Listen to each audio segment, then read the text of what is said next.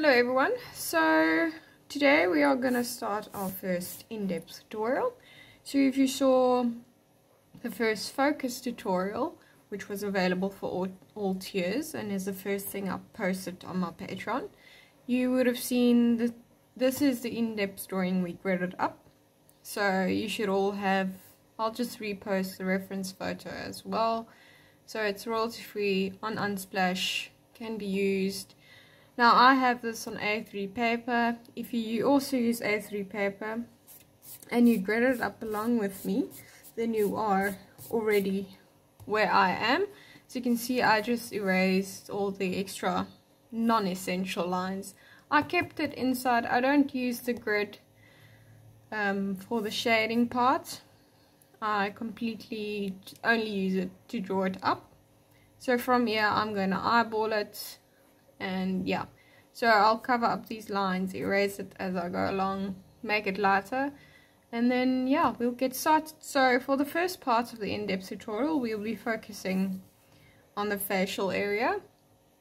I will try my hardest to not start things that we aren't going to cover like the tack we are gonna going to leave that for a separate part of the tutorial. If you've seen some if you know I am I'm a naughty artist. I move around everywhere. I don't finish one area and then go along.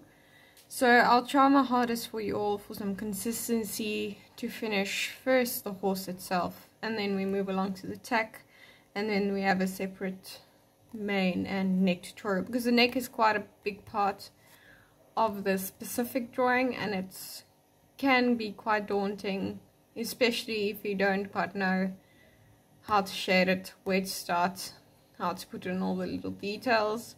The reference is quite detailed. I can see fur and hair if I zoom it in. So we will be focusing on that as well. I have absolutely no idea how long this is going to take, how detailed. I'm probably going to make it detailed, but we will see how it goes. There's a lot of stuff to cover. Luckily, it's a side profile, only one eye. Pretty basic, pretty easy. But the tack is quite a lot of it. The man is short and there's quite a extensive area that we need to cover. So, we will be starting with my trusty, trusty, trusty, if I can find it, 2H pencil. So, I always start my drawings with a 2H or F pencil to start in the shading process and everything. So this is my trusty little beginning pencil. I will be showing you what I'm using throughout. I will explain what I'm doing and why I'm doing it. And then you're more than welcome to put on something in the background. I also have something quietly in the background in my earphones and then yeah let's get started. So I always start with the eyes first and that's what we'll be doing today. So let's get into it. Okie dokie so I'm just going to use this pencil to map out areas.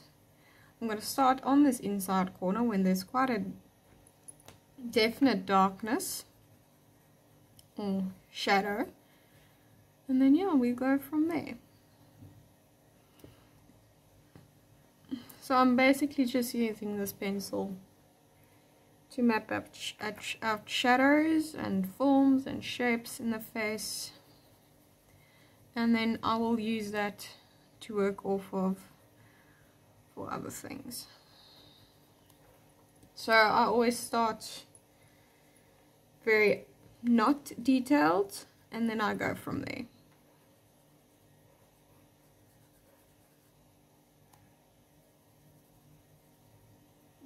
So this is very loose, loose pressure. Don't want to go in very hard just yet. I'll try, as I said, my hardest to finish something before I move on.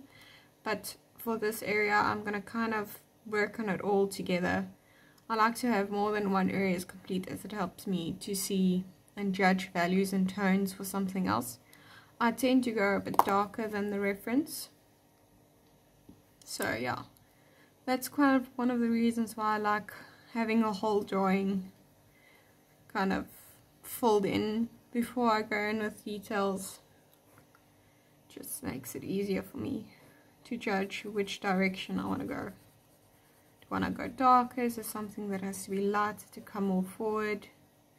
So yeah.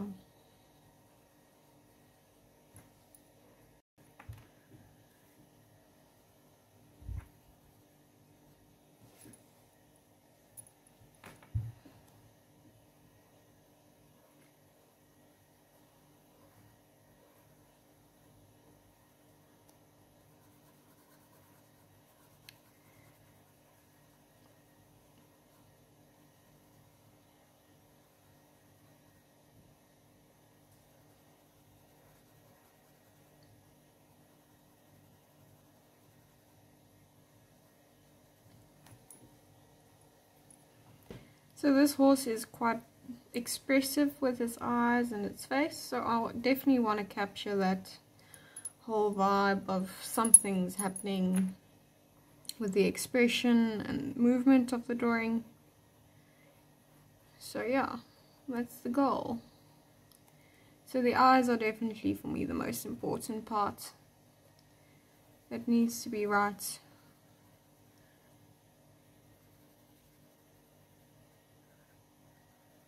I always start with it first. Always. So, yeah.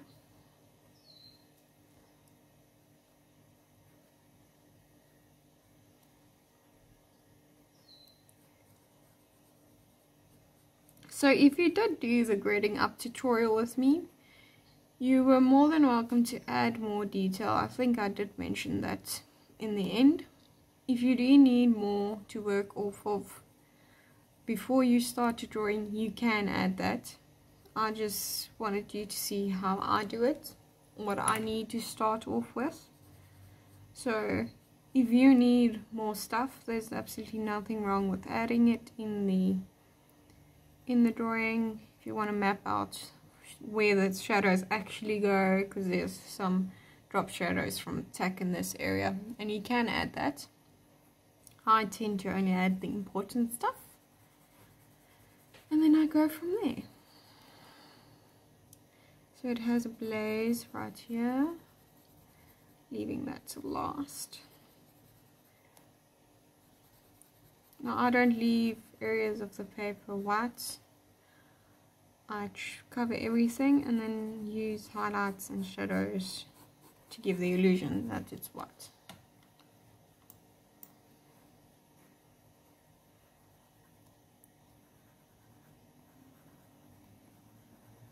So I also do basic shapes and forms. I don't usually complete the shapes when I do the drawing. I will I refine it once I start shading in. And that's why I like going in with 2H pencil is because I do the refinement kind of in this step.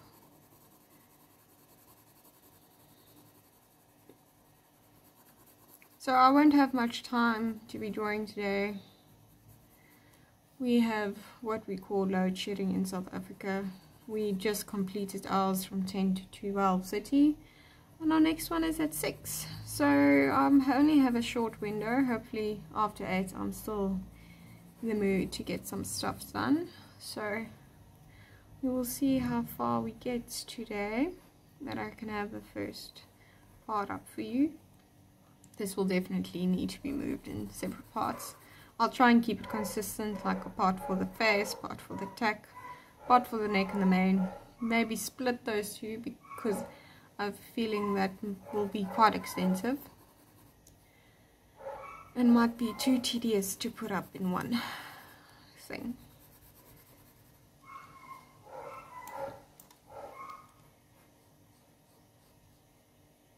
So I'm still quite sketchy with my outlines.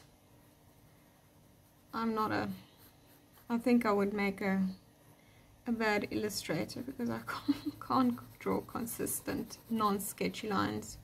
Although I do get it right when I work with pen because it's a get it down the first try type of thing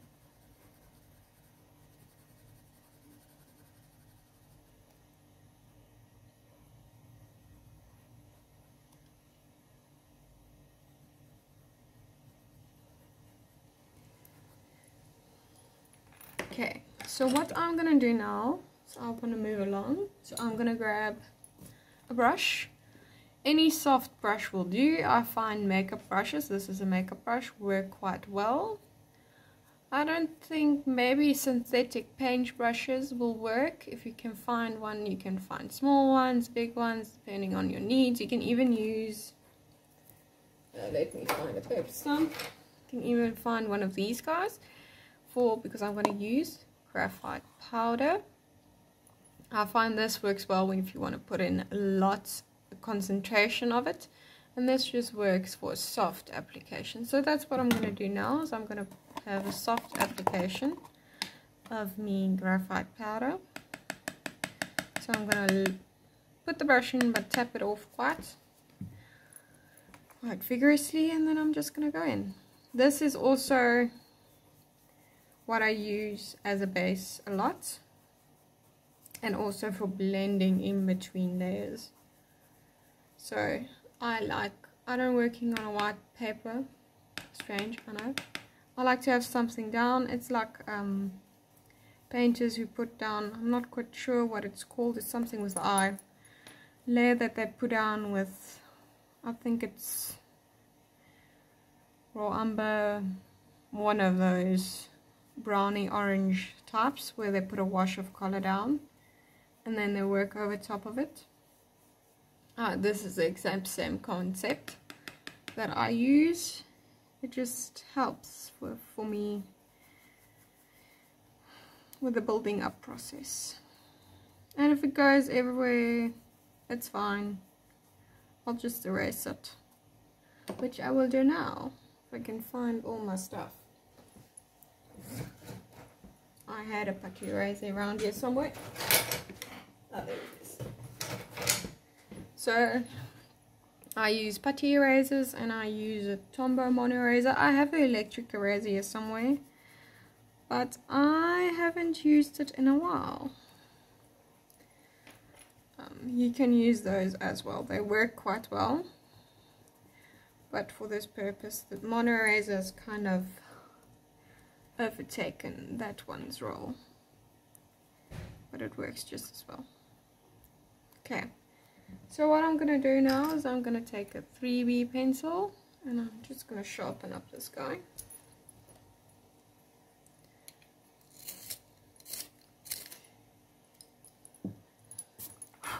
And then I'm just going to put in shadows more. So I'm going to now focus on the eye itself.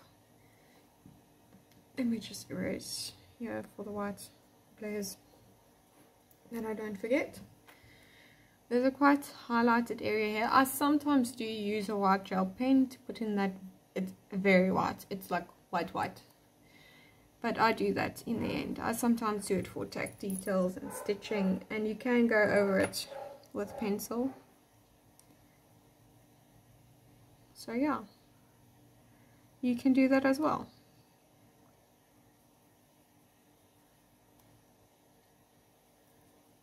But we'll get there when we get there. For now, we're just using pencils.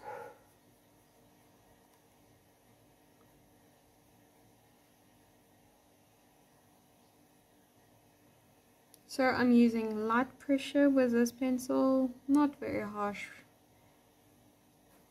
I don't want to, this is not as deep as we're gonna go.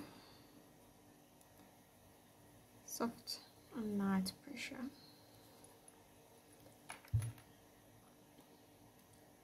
So this eye is not very big, still substantial size, but not very big. Not as detailed as the focus eye tutorial I put up. But that one is a very good tutorial, it's got some nice details in the eye itself and the surrounding areas.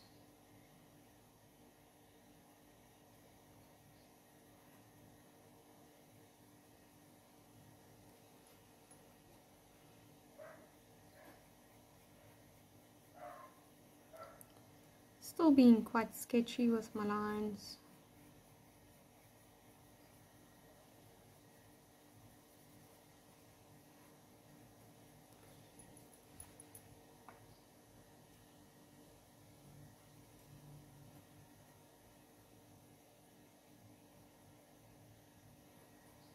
There is a highlight here.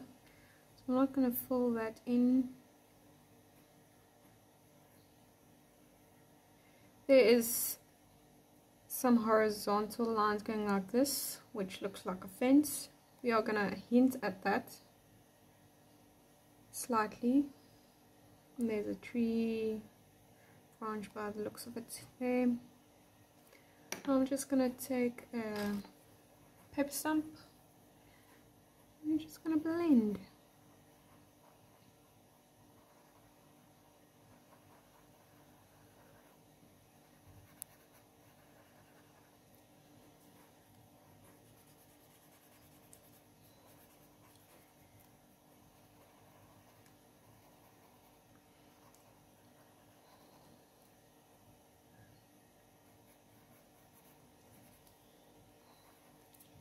Gonna take my where did it go now?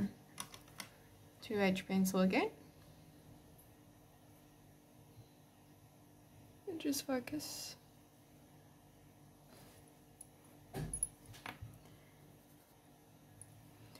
And we're just gonna go over where we were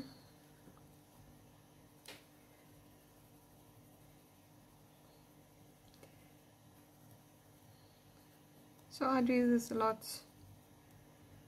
Start with two or three basic pencils and then work my way from there.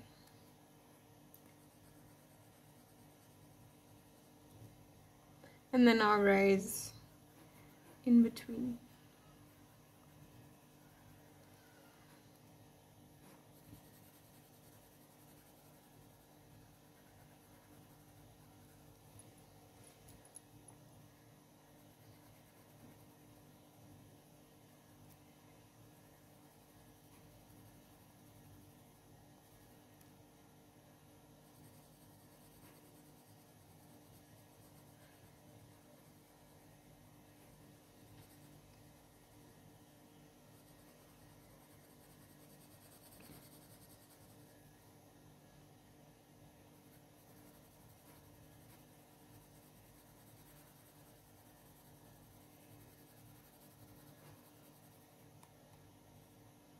So it's got some uh, quite expressive lines up here. I'm not going to put it in just yet.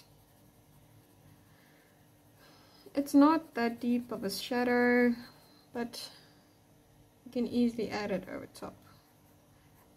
Just hint at it here, because it fades quite nicely into this front part. I'm going to take my 3B again and we're just going to continue doing what we're doing.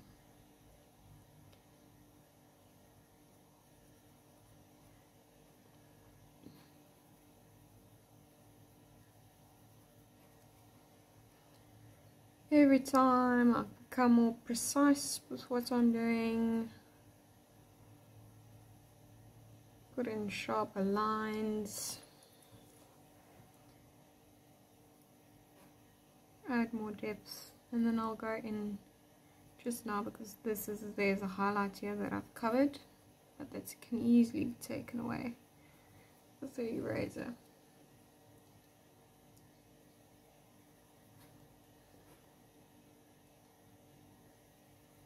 The pupil is not as dark as maybe this area or this area at the top here but it's still visible as being there. Okay. I'm gonna put this on the bottom line here.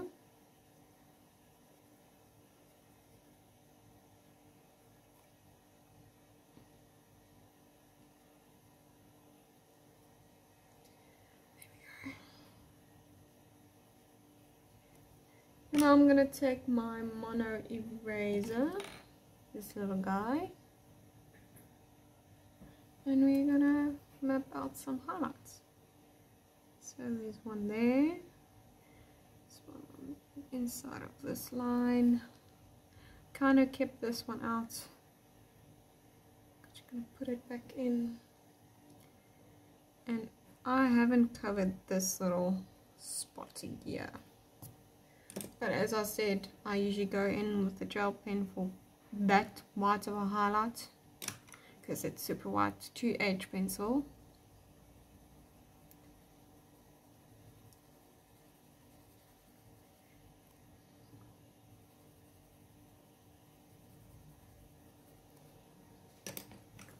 Mm, kind of bit dark for there for my liking, so I'm just going to erase it.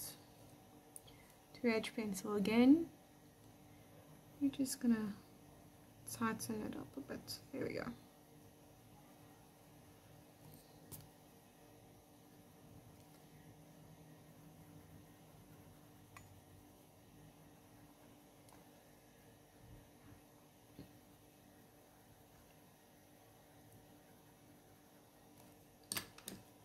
I'm going to take a B pencil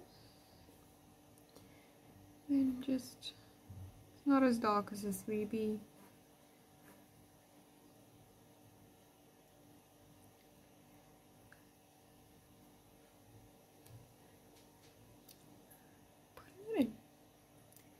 See, it doesn't take much layers or many details to already get some expression in the eye to get it going.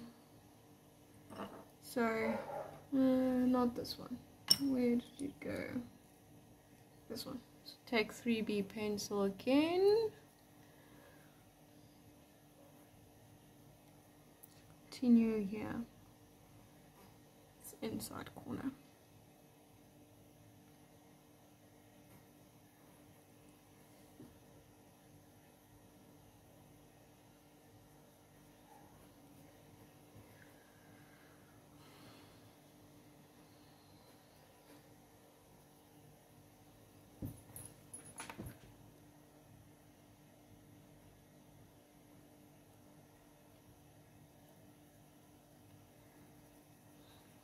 All the time remaining using soft pressure.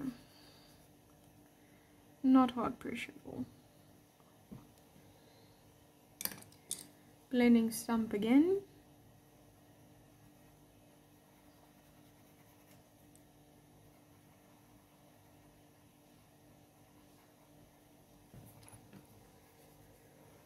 Now we're going to take mono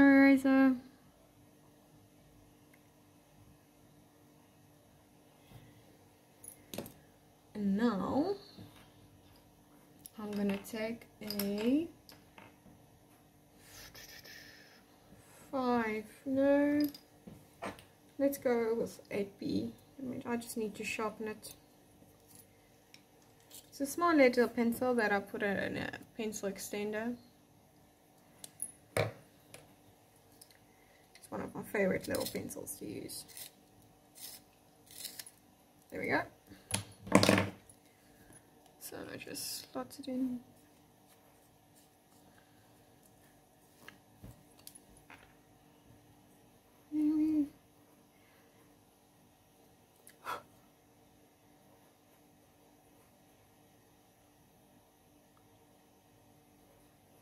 Now I'm being very precise. Putting a hint of that highlight in just ever so slightly.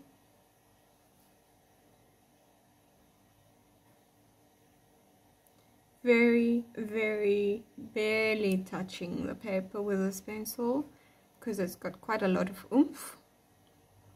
Packs quite a punch. And do not be afraid of those very dark pencils. They really the darkness adds to the drawing and it really makes the highlights pop. Really gives depth dimension to it so use it to your advantage.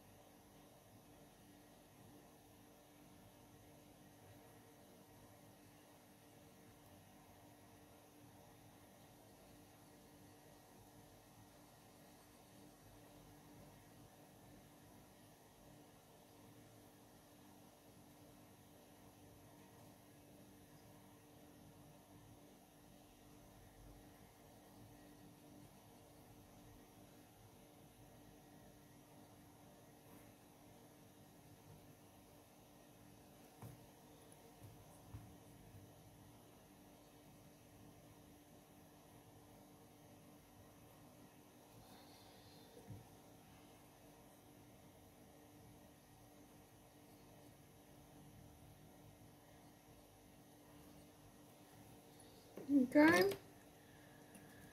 I'm going to use my 2H again. And we're just going to work around. So I normally go in with a dark pencil and then I, you don't need to use a blending stump or a brush. I just sometimes use a H pencil to blend out a B pencil. I find it works quite well. I think it's almost the same when you burnish a colored, colored pencil, but I stand corrected if it's not like that. But it's just help using another pencil to blend out this one. And it works like a charm.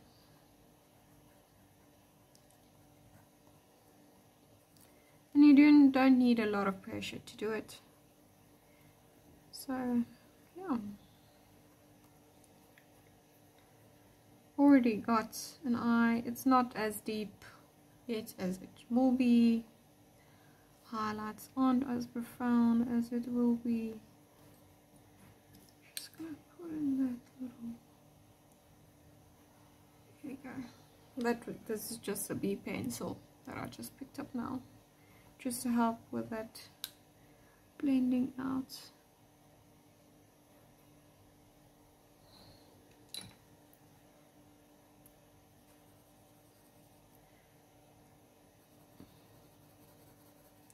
So the smaller the thing is you're working on, you have to really go for the illusion of the detail rather than the actual detail.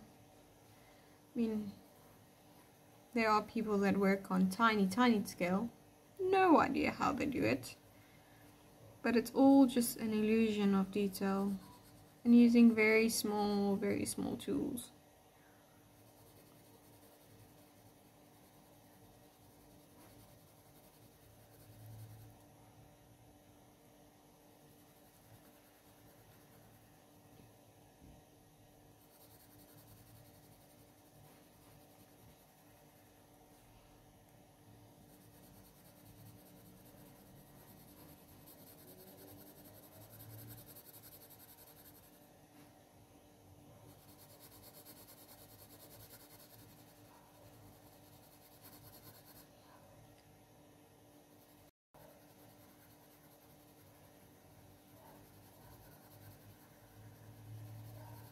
So I'm just continue to building with building up the forms in the face.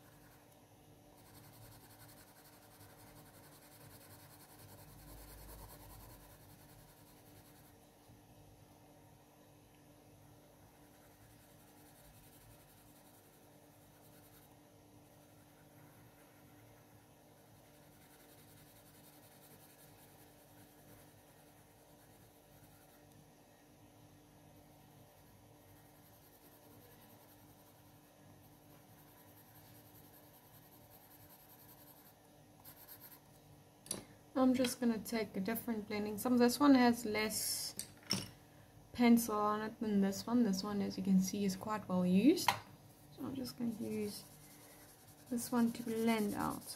So I have quite a few blending stumps next to me. I typically use this one for smaller. You can find I have a very tiny one, thin one around here somewhere, but it's very flimsy and wonky and well, well used, so it doesn't work that well. So, see it's all muted now, but that's just the way I do things.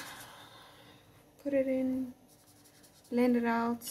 Okay, now we're gonna take our 3B, 3B, and we're gonna go up to this corner.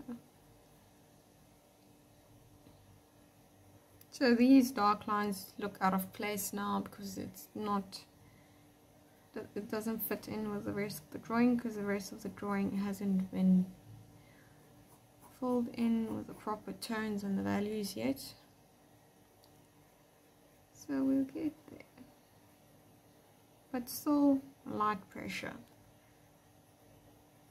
The hardest pressure I went in with was with uh, to get these dark lines here with both the 3B and the 8B pencil.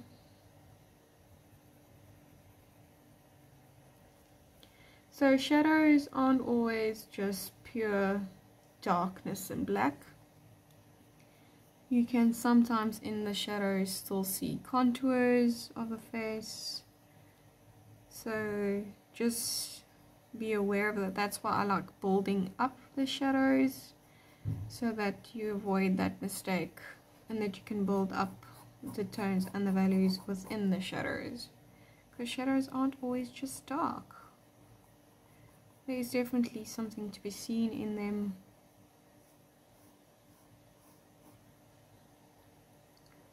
Yeah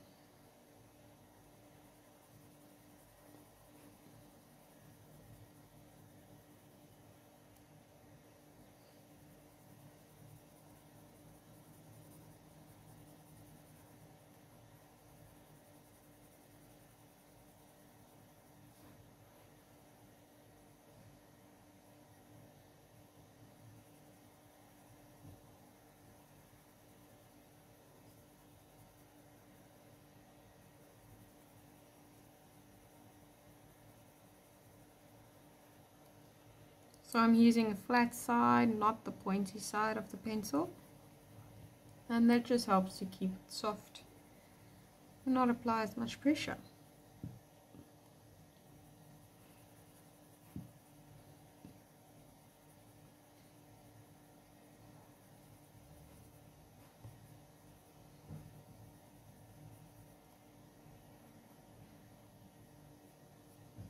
Now I'm using pointy side this bottom ridge in the lid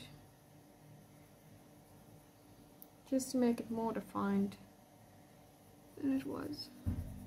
Just scooch it in, there we go.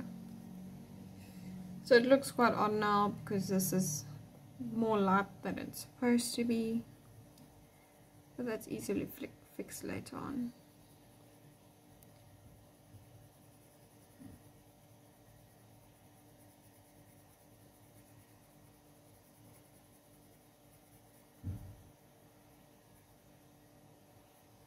go.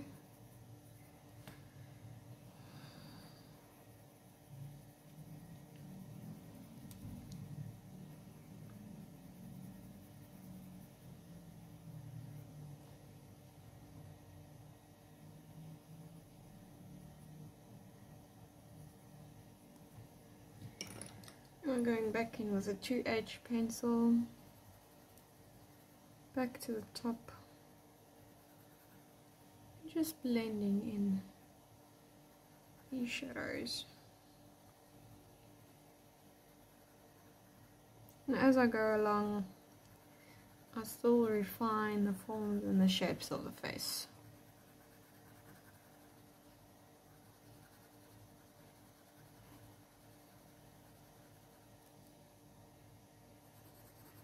Also be aware when I start taking in the details, always try and go in the direction of the hair and direction of the form, if it's curved or it's indented. So just also be aware of that. I always try and take the pencils in the direction of the face and the form and the contours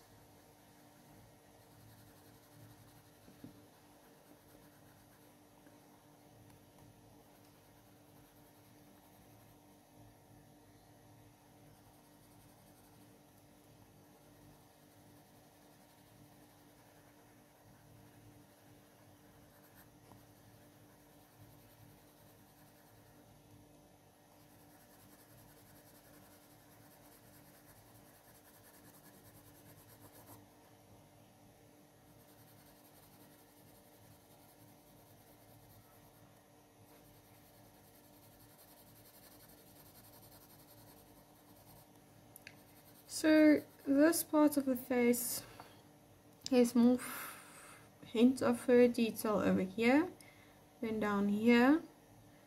I'm still considering whether I'm going to put in fur down here by myself or just leave it like the reference more flat. You see the horse's face shaved but it's quite short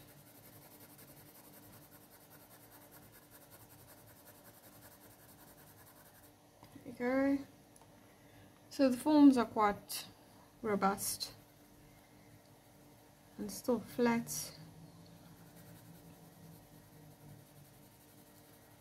Still working on it. There we go.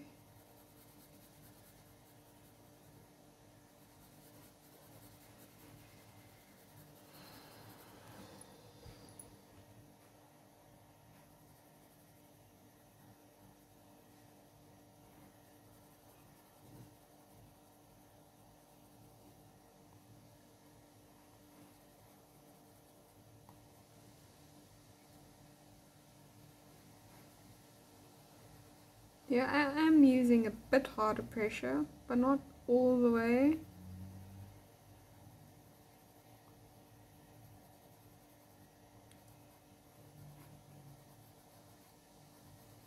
And I am, am using the more pointed side as well.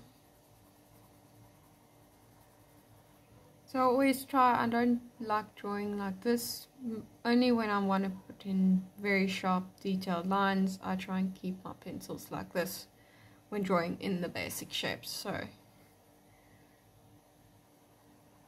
it just is a lot easier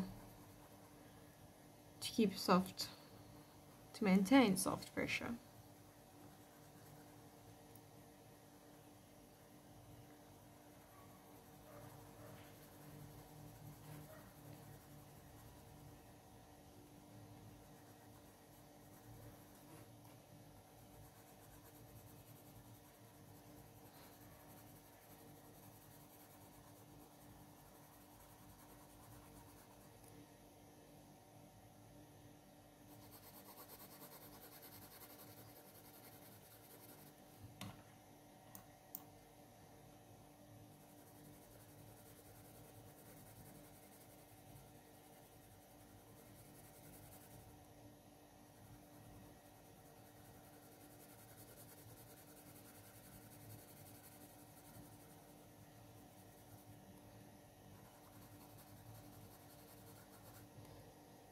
go. Back in with my blending stump. And then we're just gonna blend this all in. So I do this quite often. I do it when I put in fur details, building up the layers. It just gives the depth to it.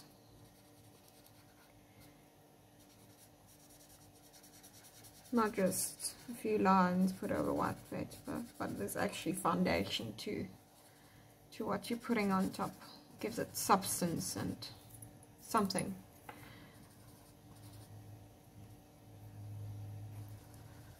It's not as highlighted, so I'm just going to pull that in.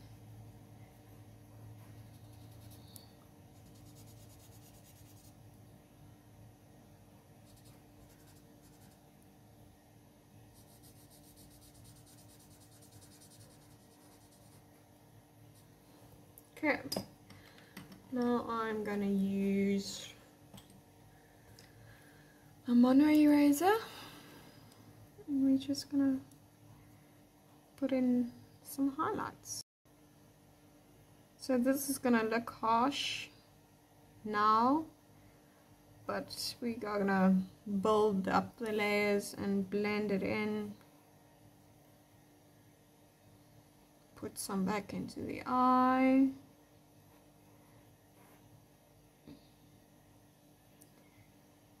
now we have something to base everything off of so I'm just gonna put in that more. Take my 2H and then just just gently go back in. There we go.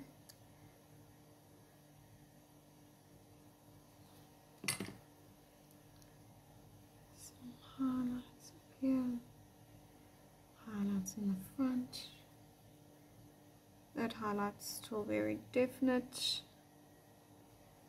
There we go. It goes like this.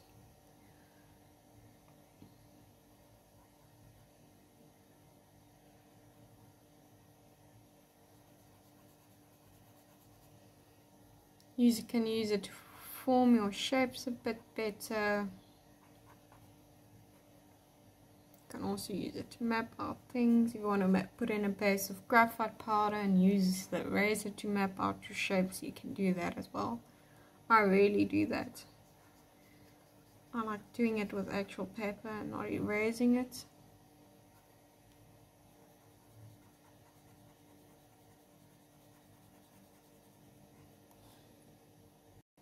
So now I'm gonna maybe go in, let's see, let's try this 4H, 4H pencil. So my range of pencils go from a 7H all the way up to a 9B I think is the highest that I've got.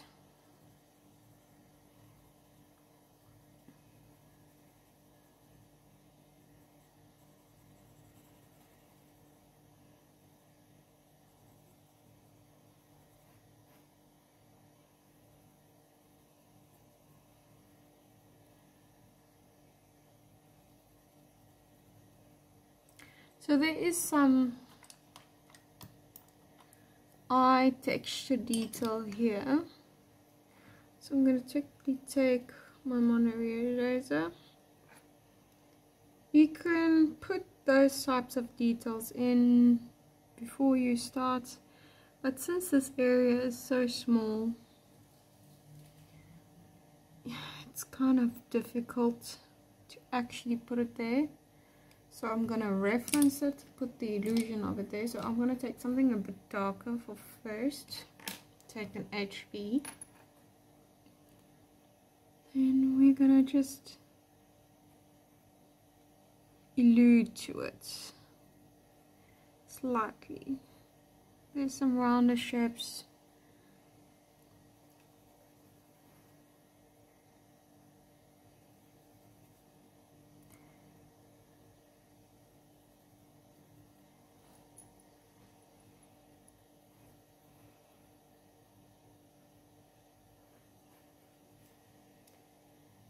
take my 8B pencil again.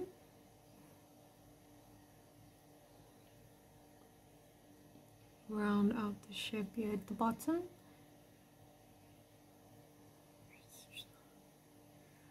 Darken up inside the eye as well.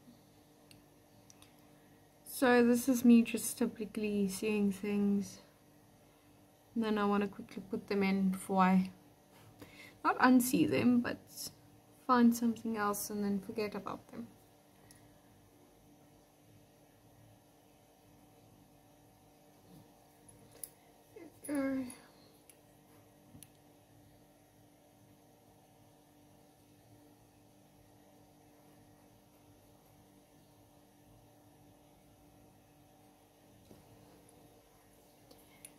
Very soft pressure.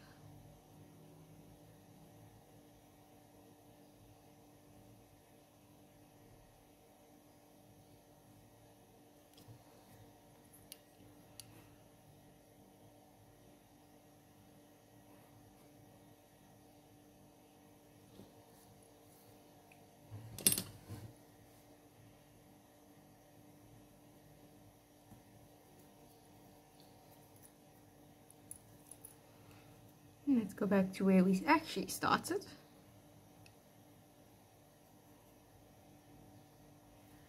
I'm going to take our 4H again.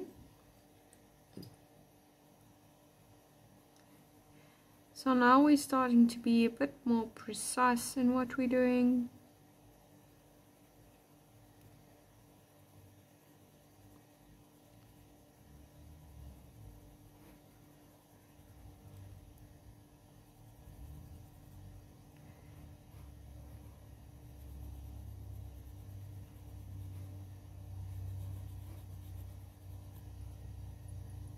And this full edge can actually put in nice details and forms and shapes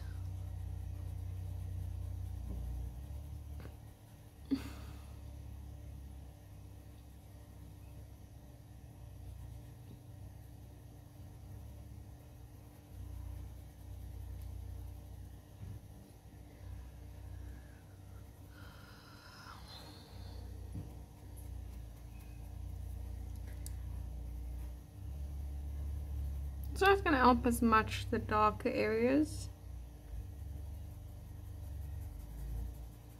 But it's just to help blend it out.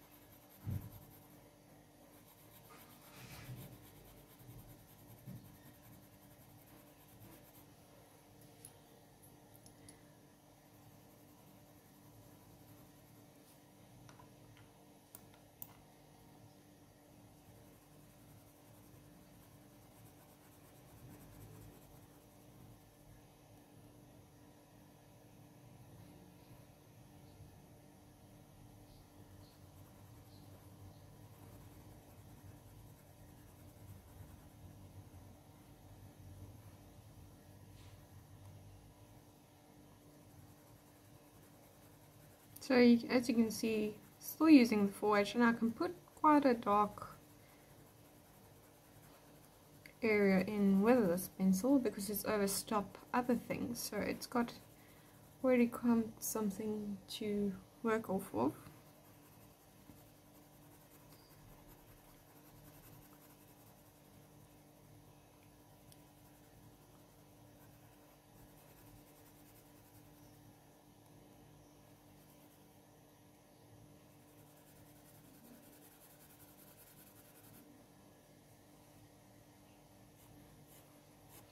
So I'm just going to use this 4H to clean up this line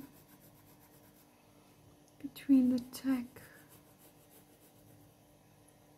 and the face.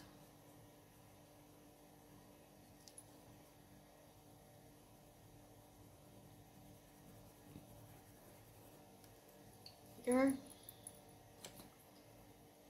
Blendy blendy stamp.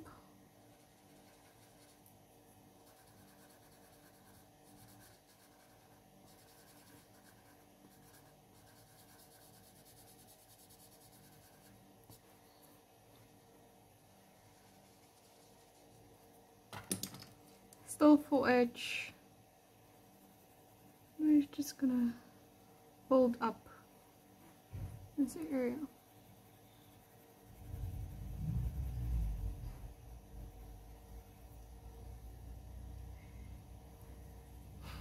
It still will go a lot darker just for this to fit into the face. I've already mentioned I tend to go a bit dark on my drawings then the reference photo.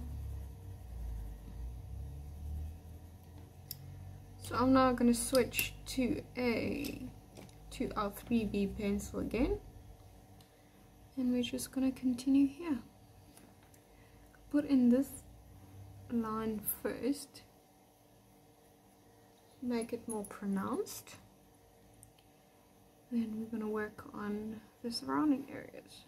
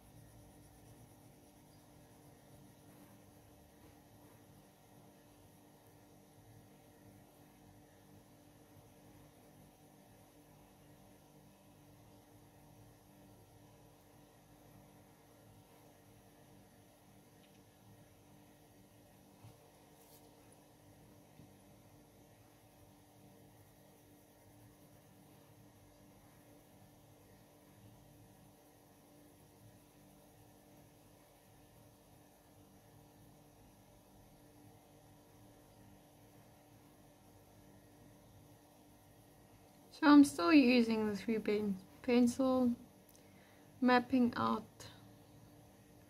the darker shapes in this area of the face.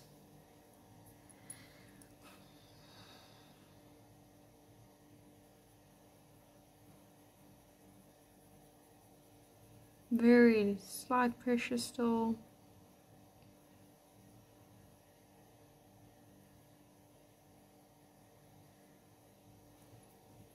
Okay.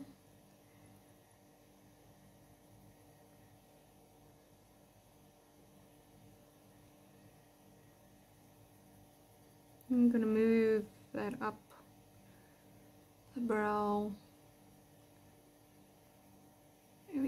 Just soft, soft pressure. Circular motions.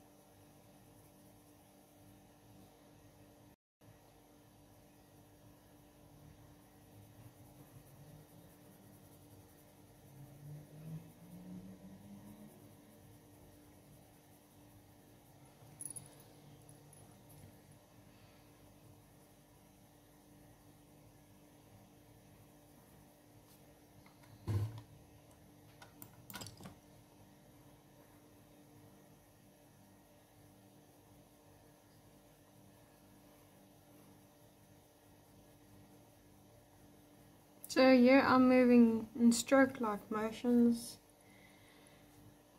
Just put in a bit of texture. Darken up the shadow. So as you can see, I'm holding my pencil a bit shorter now. Just to get that real precise application.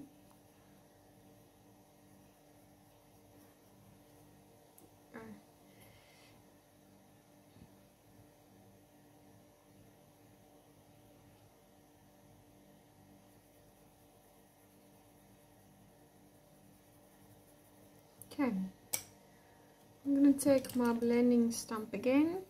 This highlight's bothering me, so I'm just to blend it out. Blend it out.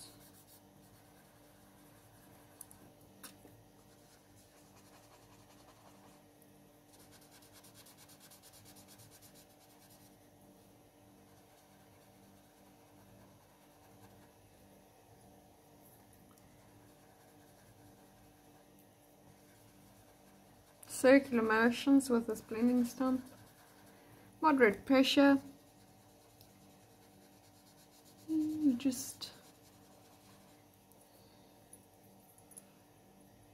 continue on from there. Blend out this harsh area.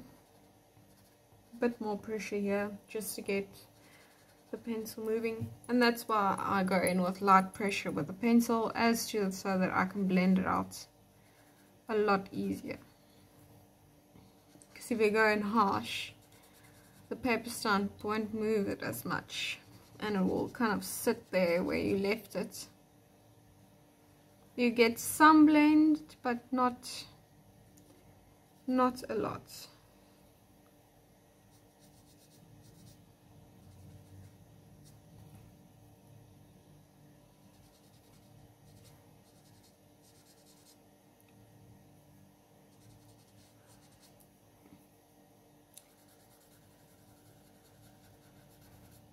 There we go.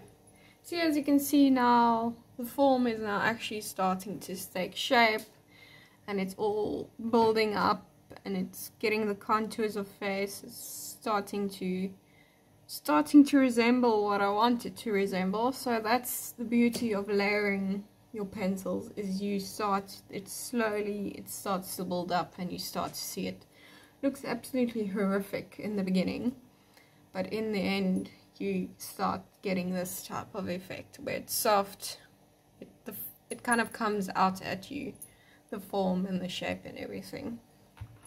So I'm just going to take an HB pencil. We're going to do exactly the same thing. Build up our tones build up our values build up the darks and then maybe I'm going to start fiddling with fur texture and everything like that hinting at it it's very prevalent at the top here. So that's what we're to do. So HB, short, stubby strokes. So there is a highlight here, but I'm to put it in later.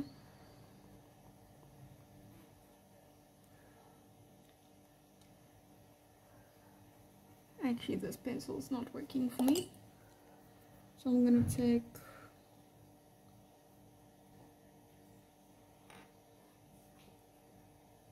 a. Don't want to take a B pencil? You know what? I'm going to take the 3B pencil again but sharpen it up this time.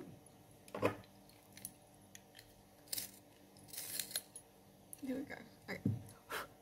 so I'm just going to take the putty eraser and just quickly erase this highlight that I see. I'm supposed to go more like that so okay let's start building up. Our texture so exactly the same as I said four short stubby strokes. This is horse has got quite short fur.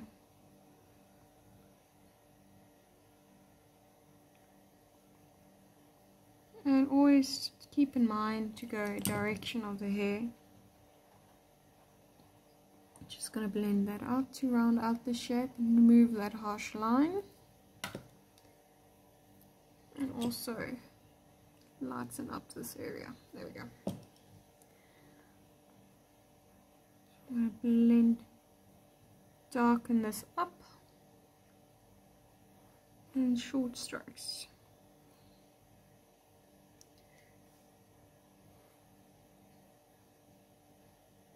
Also, not hard pressure, light pressure. I think the big takeaway is your heart pressure rarely comes in only at the end. I rarely use heart pressure for any of my drawings. Only for these dark lines will I use dark pressure. The rest is built up softly, soft layers. Really gives you that nice soft touch effect.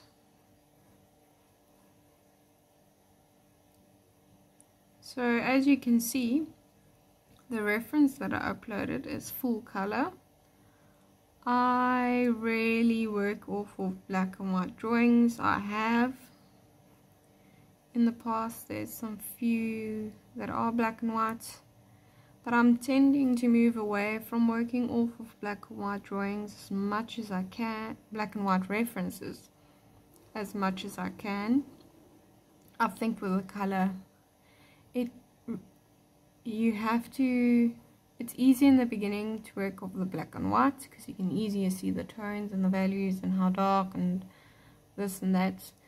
But you really working off of a color reference and translating that into black and white is something I think every black and white artist needs to learn because you definitely start getting your eye in for certain values and tones and how to translate that into black and white and how deep or how light is it really is the color and the highlight is a different color that's dark and then this one but the same if you get what I'm saying. So the eye I put up is black and white but that's just the reference stood out to me there's definitely going to be some other focus tutorials and stuff that will be off color references. You'll see I will mostly work off of color references. It's really good for you just to get everything in. Get your eye in, really get to know your medium. I think that's one of the reasons why I can make such quick decisions about what pencils I want to use. It really helps. Because you kind of left your own devices and kind of make it your own a bit. Because if you sometimes I know photographers will put up a black and white and a color version of the same photograph and it would look completely different. The black and white will be more dramatic and have more feel. So I think working off a color reference you can kind of put your own spin off of it. Like yeah. Just blending out what I did. Blend blend blend.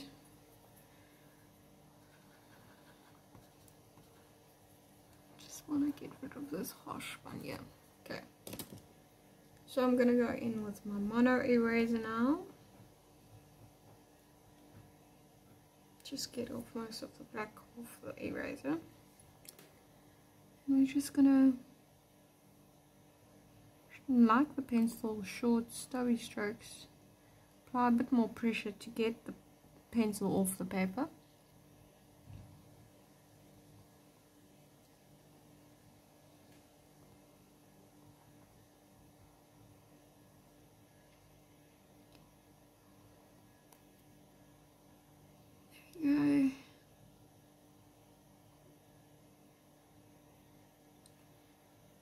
as you can see it's not really taking off all the layers of the pencil. Just taking off the top ones and that really helps. If you really go in and deep and scratch it away you'll get down to the bottom. Eventually. Go now I'm going to take my brush. I'm not to put any graphite powder onto it. And just out.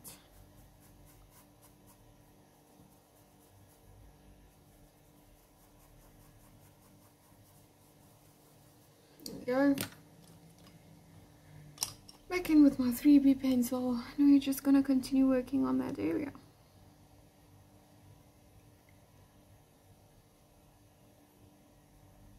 going to focus this now more on the darker areas and the lighter highlighted areas. I'm going to go in with another pencil my 2H to get that done.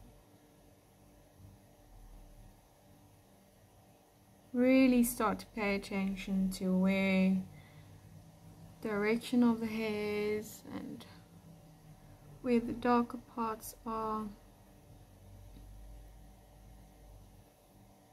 Short strokes. Kind of back and forth motion, not just uh, up and down.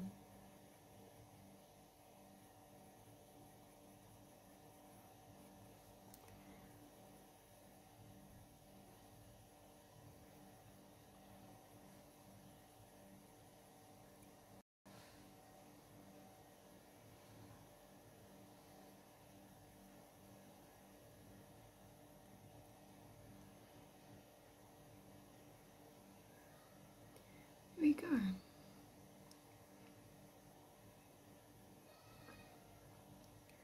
Slowly but surely we are building up and getting where we want to get. So yeah, I'm barely, barely touching the surface of the paper. Putting the harsher lines. There we go. We're building up the shadow in the shadows and the really working on those contours of the face.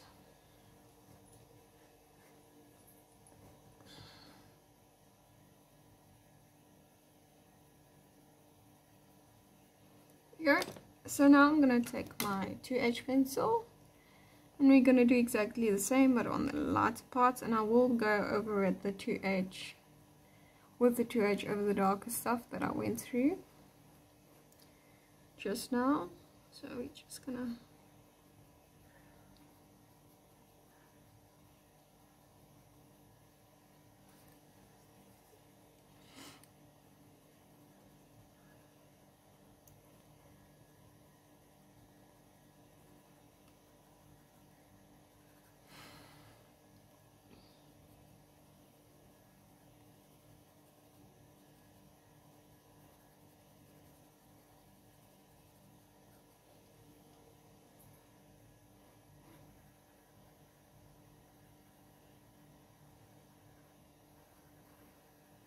So here I'm not focusing so much on the fur texture, just in some places I'm putting in the fur texture like here I'll maybe map out some fur. Short stubby strokes back and forth motions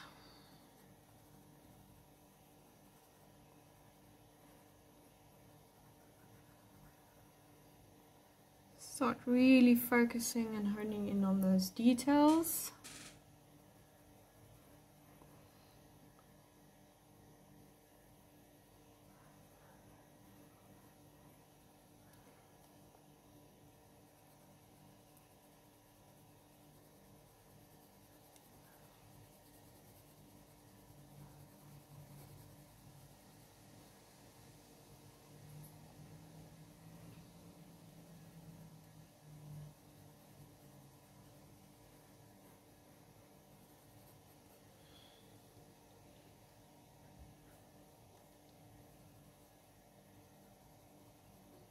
back in. Now I'm going to go with my little 8B pencil.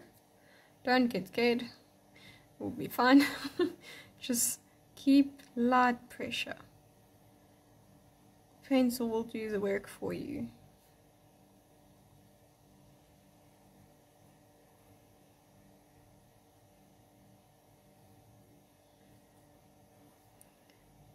You must use these pencils to your advantage.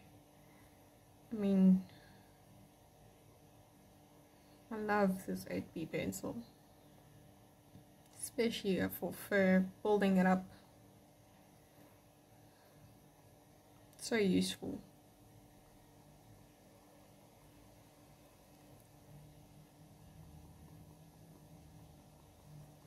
Short, short stubby strokes.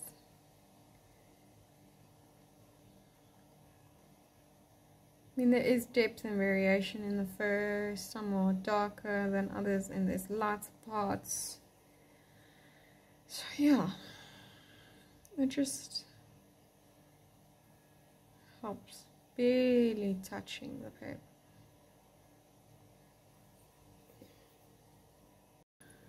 Okay, now I'm gonna go back in with my 2H pencil and just continue working on those areas.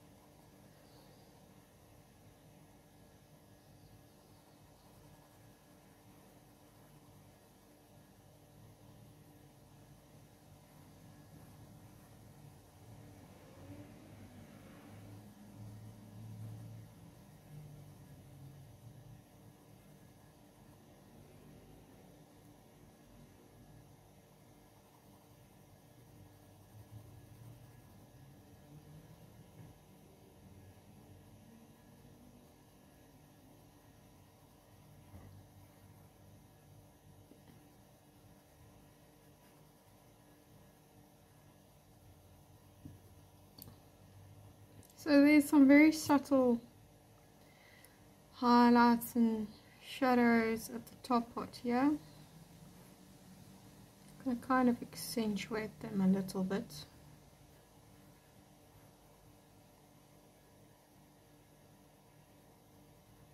By making them a bit darker than they actually are.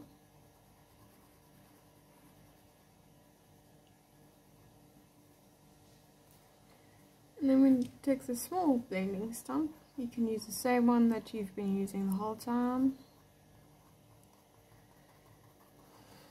Go.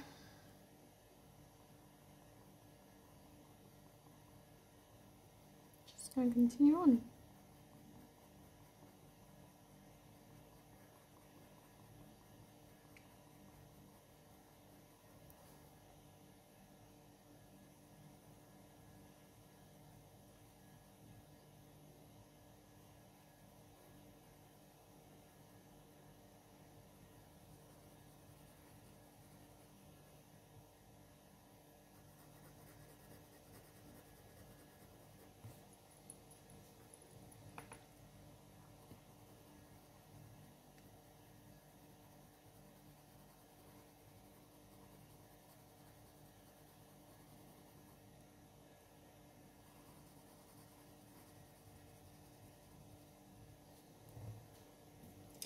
Just gonna blend this out light pressure circular motions. There you go. Now I'm gonna take my putty eraser. Just gonna make a sharp little ridge with it. And then we're gonna go in and just short stubby strokes and we're gonna kind of go everywhere with it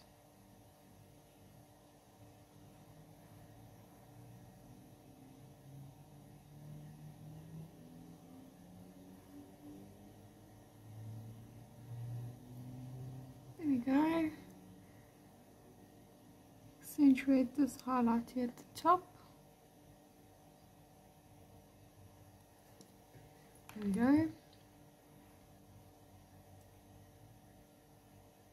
I'm just gonna fold it over, make a new point as it kind of makes it darker, difficult to erase because it picked up that pencil there on that small little, tiny little ridge.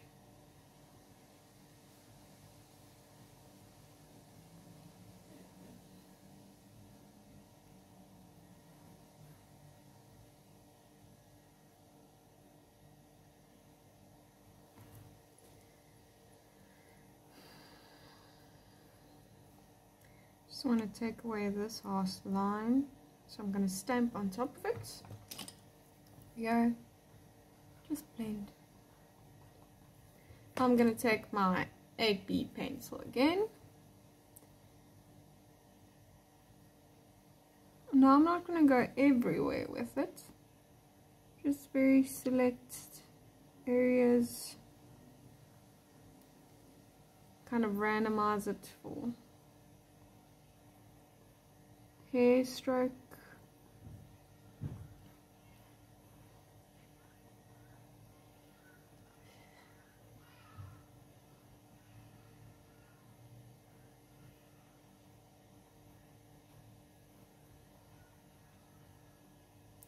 So this is not quite stippling, but it's very short strokes.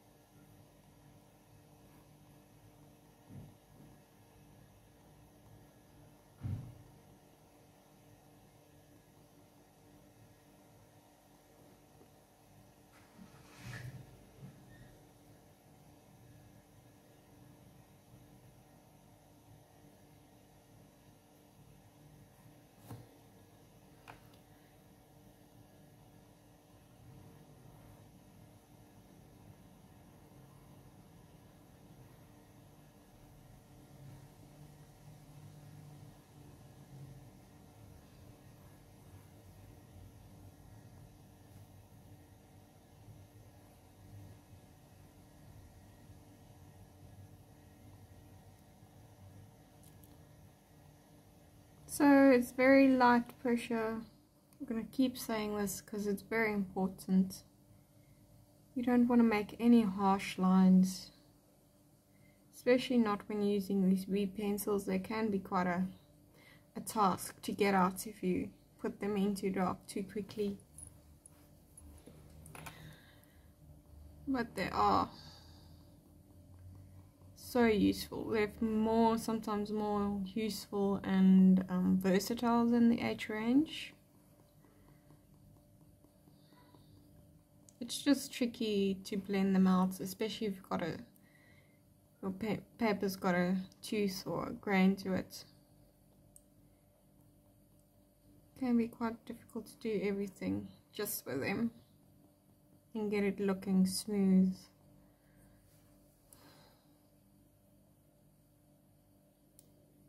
So barely touching the paper and it's really oh, just like the effect it has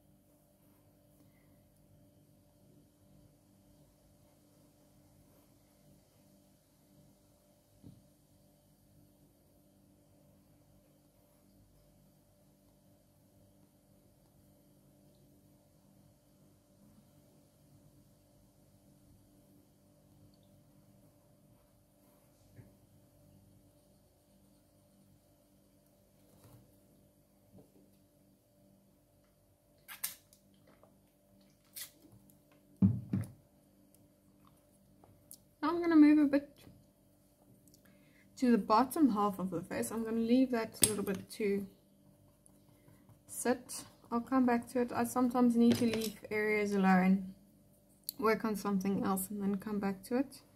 Still going to keep my 8B pencils in my hands.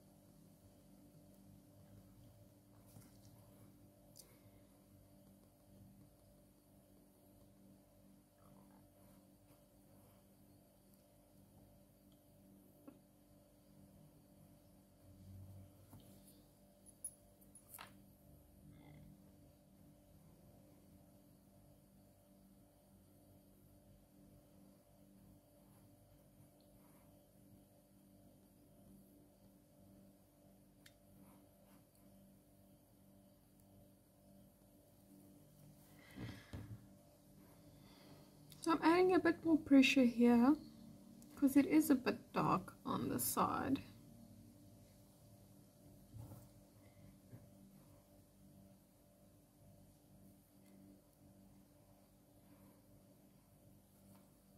And since this is a color reference, I can really do as my heart pleases with the darkness of it. Really. There we go kind of just use it to blend out this lighter area as well. Because if you put this 8B pencil with light pressure over a darker part it will automatically start looking darker. That's what I like about it. You don't need to work hard to get what you want with it. Now I'm going to take my 2H pencil and we're going to continue working down here. So this has a lot more for fur texture. I kind of feel like I'm not going to translate that completely down to here and kind of keep it close to reference. But there's still kind of soft texture down here.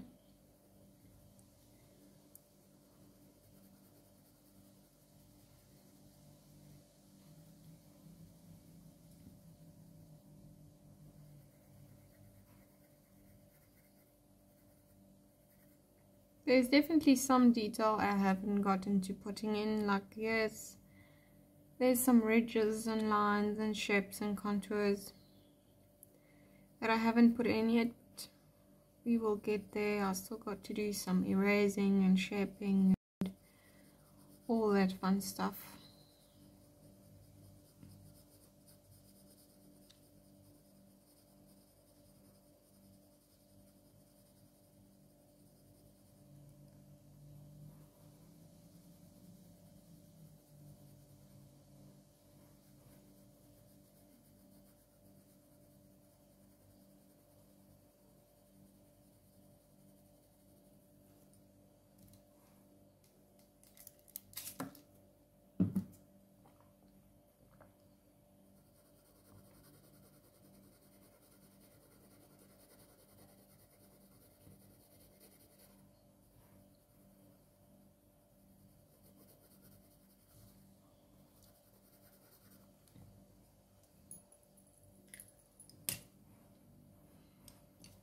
I'm going to use the brush.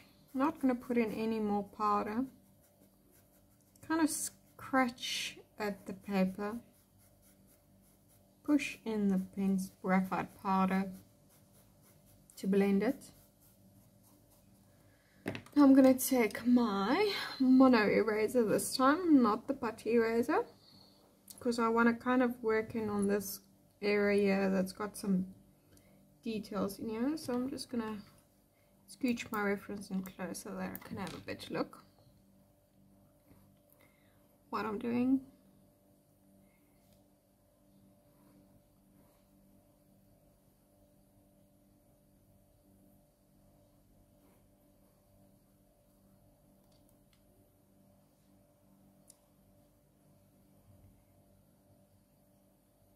I sometimes find it useful to put in the shapes very loosely and then later worry about the about finessing it and putting in the details. I don't want to get stuck on the small stuff too quickly. That can kind of uh, be overwhelming especially if you start looking at the details immediately. Um, because in the end you do see quite a lot of stuff that you can put in and shapes and extra highlights and all that jazz. I think you kind of need to start out of focus and then move your way in. And that way it's easier to take it all in. You kind of get to know the drawing in the end. Kind of know what you're doing what's going on there what shape you're working on so yeah. Also teaches you to look at things differently. Really take it down to its basic shape and basic form. There we go. Want to make this less harsh. I'm going to erase it slightly. And then just use this small little stump and blend it into the side go because this ridge goes down into here but it gets darker here down at the bottom. Now I'm going to take a 5B pencil sharpen it up quickly. We're gonna work on this little area right here.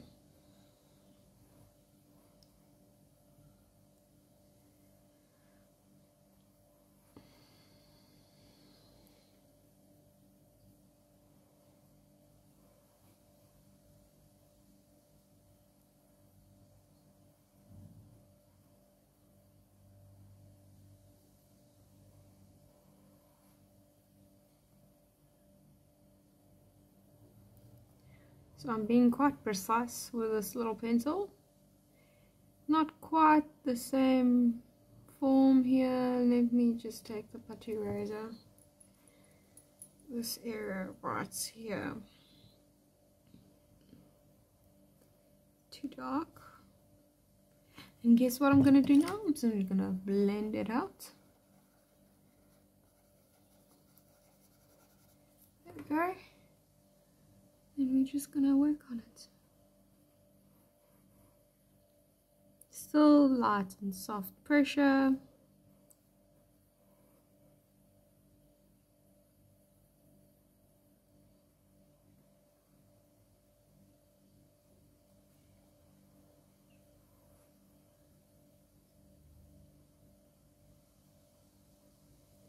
That's much better.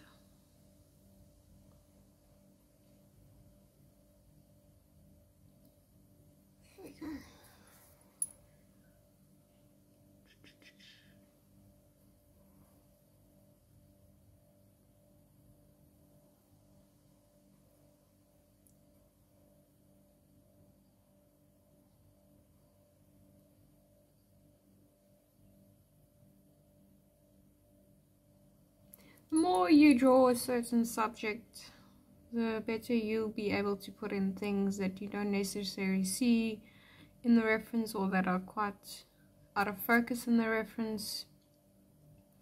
You really start to be able to kind of use your own mind's eye, your own imagination experience to put things in. If you want to maybe make a certain part more detailed or the reference is not that well or areas too dark or the contrast is not right. Then you kind of I sometimes use other references that have the same um, position of the head or the eye or the ear or the whatever.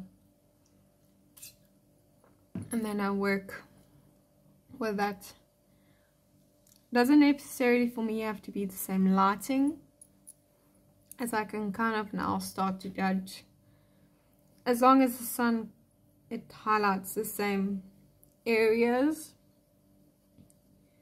it's I can still then translate it into the drawing.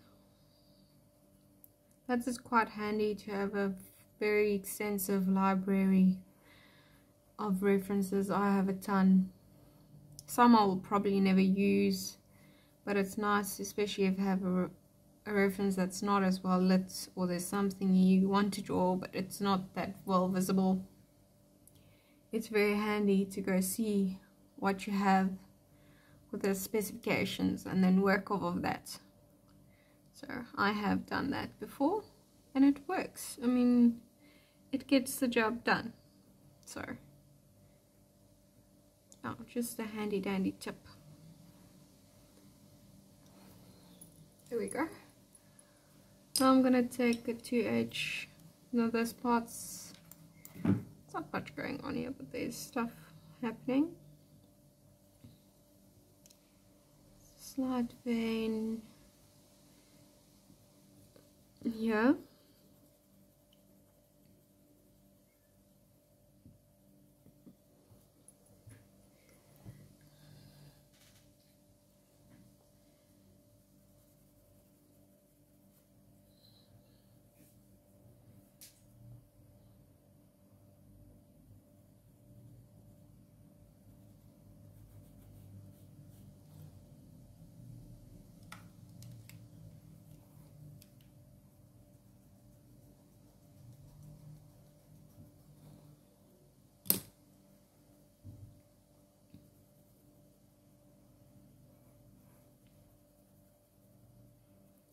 I'm gonna quickly finish this. Now I'll show you kind of what I want to do with this white marking on his face.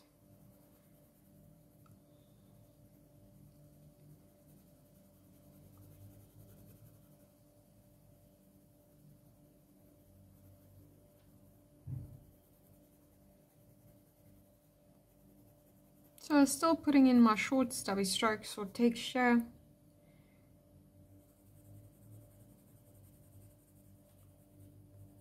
We'll come back to that. I'll maybe start working on this section, move along a bit. I need to erase my eyes off a certain area and then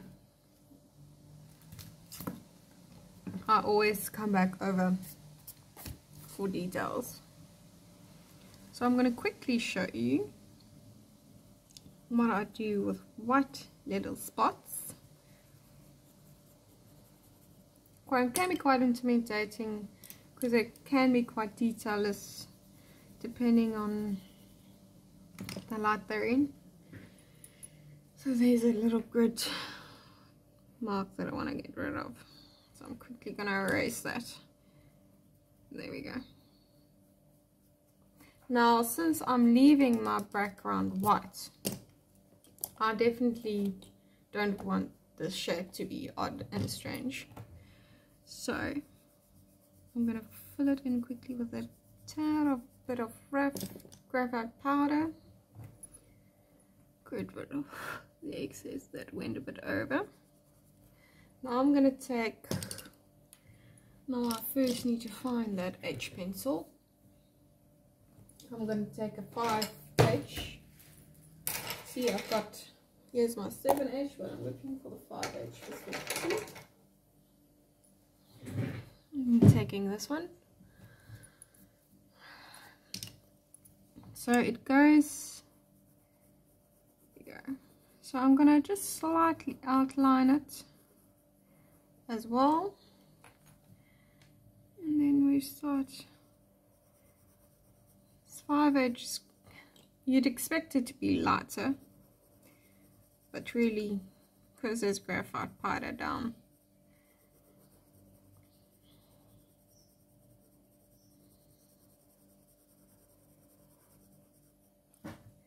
so we are gonna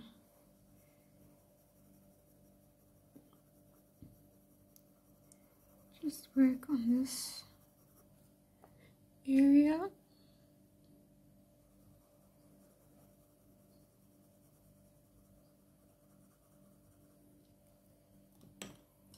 Maybe take something a bit darker. I'm going to take a B pencil soft pressure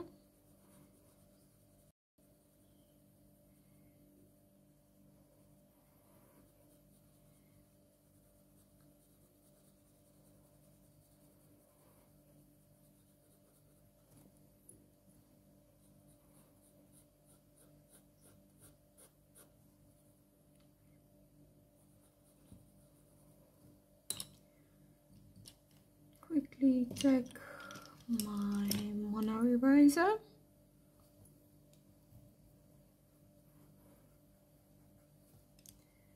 go 5H again.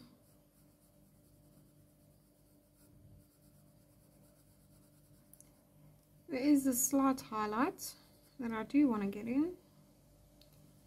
And then the blaze. There we go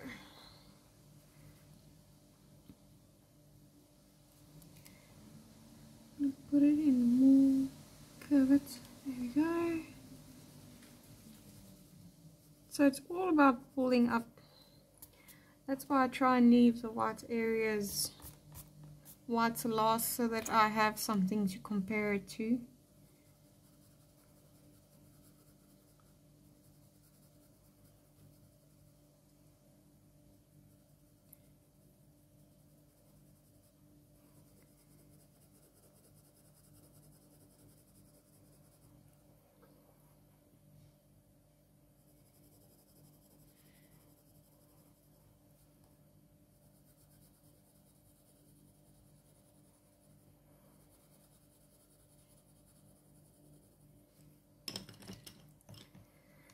take my 3B pencil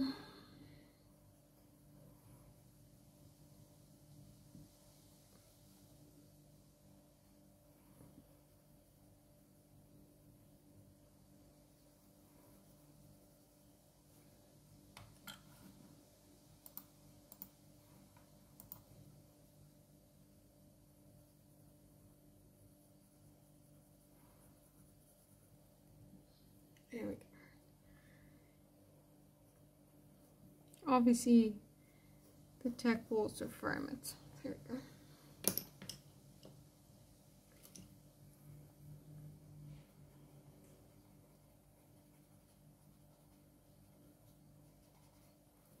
So I'm just going to leave it like that for now. Okay, so now I'm going to take my 4H and we're just going to create the illusion of strokes there is obviously form and contours in that area. I'm just gonna allude to it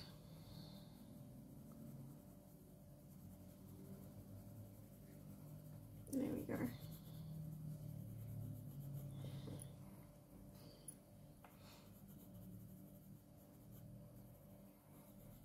just gonna keep it like that. Okay so now I'm gonna go play around with this area but still the 4H pencil. This is too harsh for me so I'm gonna quickly erase that line. There we go. Then I'm going to buff it out not buff it out and blend it out mm, still too harsh for me so I'm just gonna kind of circular motions. Just let the putty eraser do it for me. Pick up the pencil. There we go. Mm, I'm gonna move on from the 4H go in with my 8B again. And we're just gonna soft pencil strokes, nothing harsh. There we go.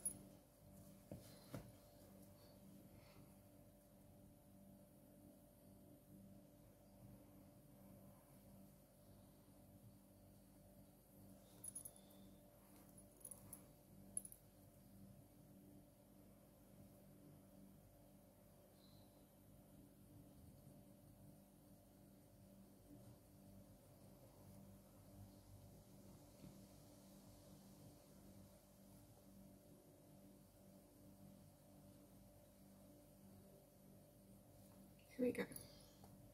So now I'm feeling a bit of an urge to move around just to get more in in the face. So that's what I'm going to do. So I am going to start with this little section and then I am going to go down to here. There's some nice contours and really nice shadows and lights and things to play around with here and then also be continuing. There's some tack shadows and everything. So I'm gonna go quickly do this and then we're gonna move on to this little part right here. There we go. Okay. So start with our 2H pencil again. If I can find it yeah here it is. So it's quite dark in here and let me just see so just gonna scooch scooch scooch there we go. So there's not much gonna go in on in this little space. Just gonna make sure we've got everything in that needs to be in. There we go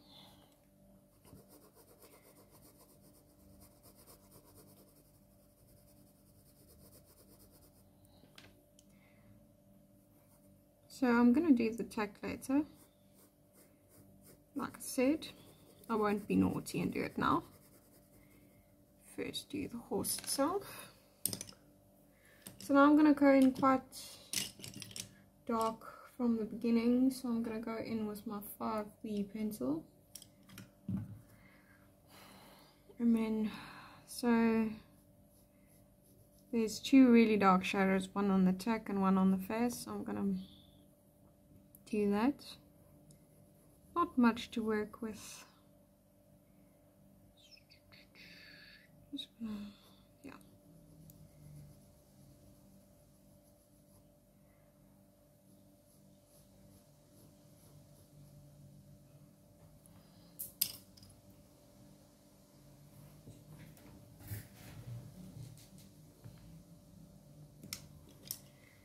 Take an eight HB.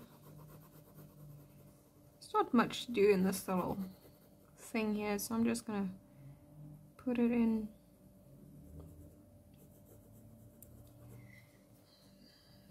There, that should do it for now. Not much to do there. Okay. Now this ring, I'm gonna continue on with that. So I'm gonna stay with my HB, which is gonna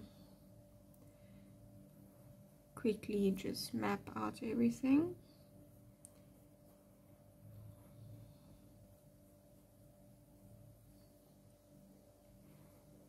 Make sure everything is where it should be before I start shading in the ring part.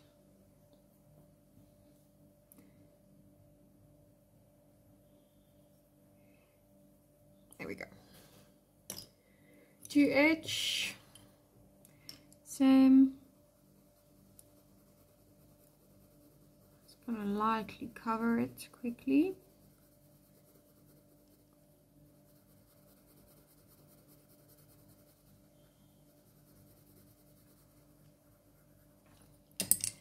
Blend it in.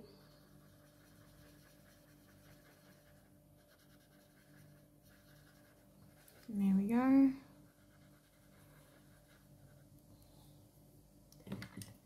2H again.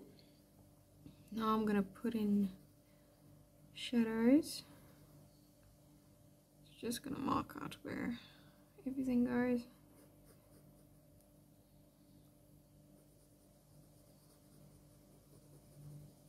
There we go.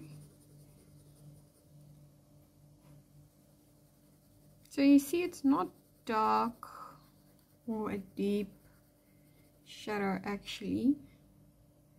It's a deeper one here. Indent in the face.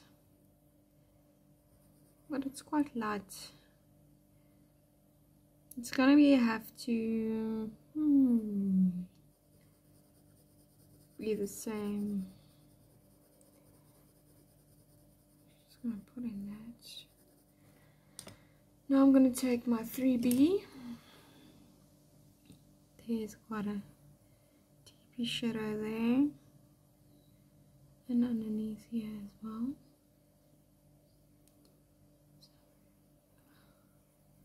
Soft pressure the whole time.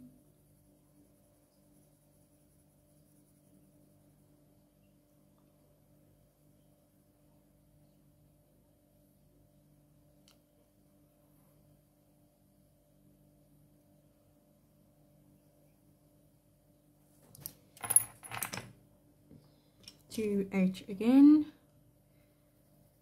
I'm going to use this to blend out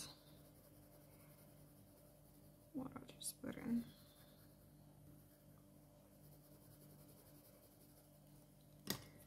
Go in with something a bit darker, 5B.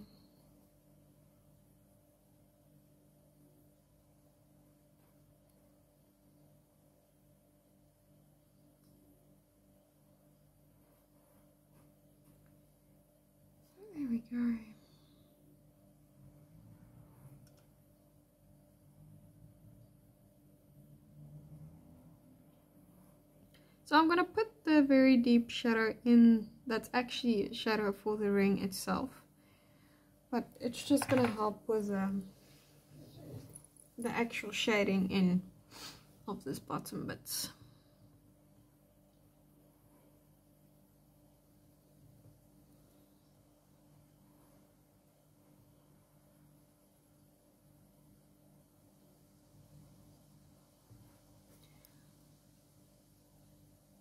Blood pressure building up the shadows.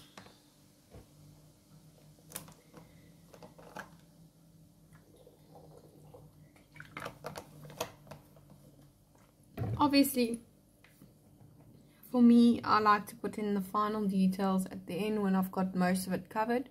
So that in itself, it would look like there's not much to put in, but you will actually be surprised of the amount of things that you can still put in when the drawing looks finished.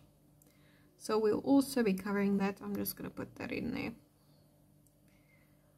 Um, that's also quite extensive. I mean, you can draw as much as you like. There'll always be something you'll see or work on.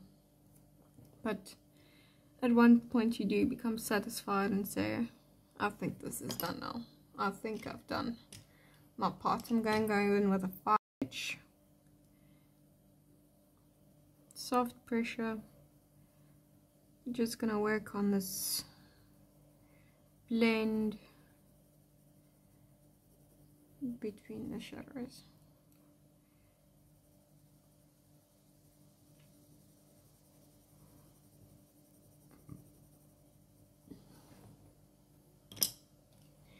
A B. Just gonna accentuate this one.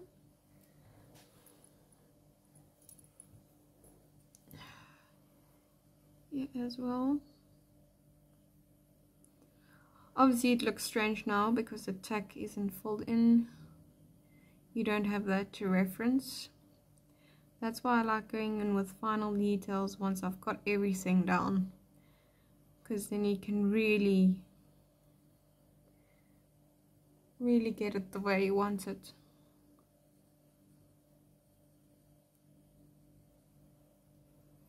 Also gonna go at top here.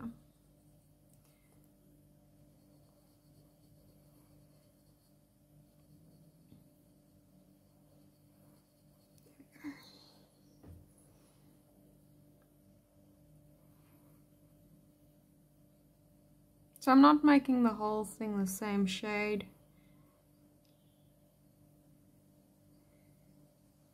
Shadows do have interesting things that goes on inside them? Not all the same. 2H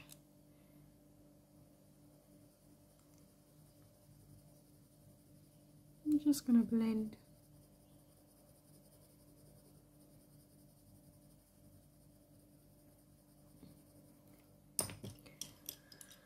I'm going to quickly sharpen up my B pencil.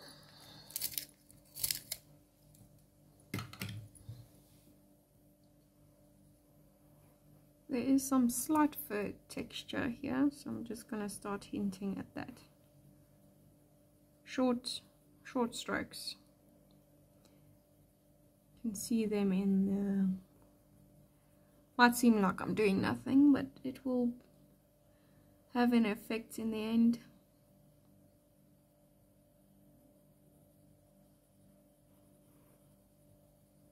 Remember you want this area to have the same feel as this on the side.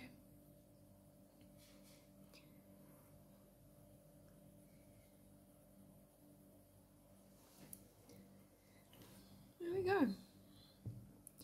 Getting there.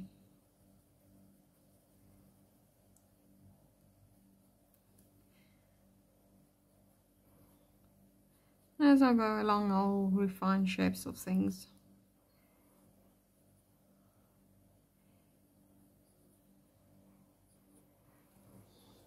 Go. Now I'm going to leave it like that for now. And just quickly go in with the 8B pencil and just put in some short stubby stippling strokes. Yeah. Now we're gonna do the spots. Okay. Let me just adjust you a little bit. There we go.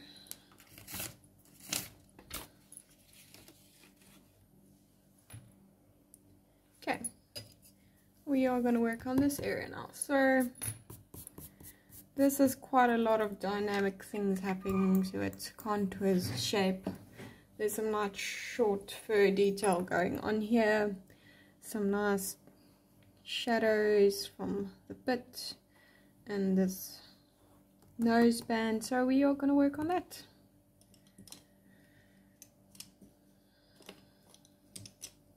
Two H pencil. You guys should know the drill by now. Just sharpen it up tad. There we go. So not the pointy side, the flat side. Here we go.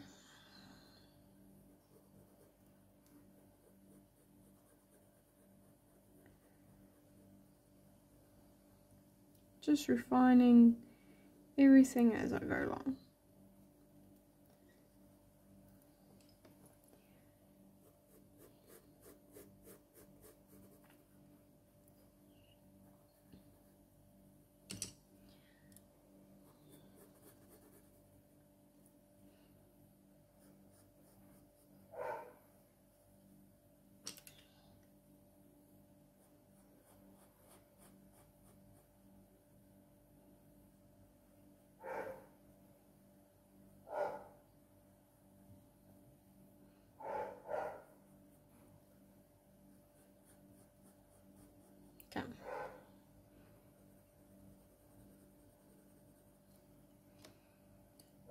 So here there's a little piece of the noseband that sticks out.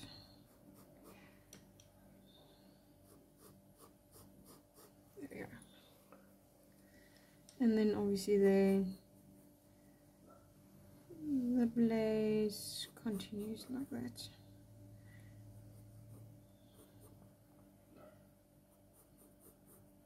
There you go.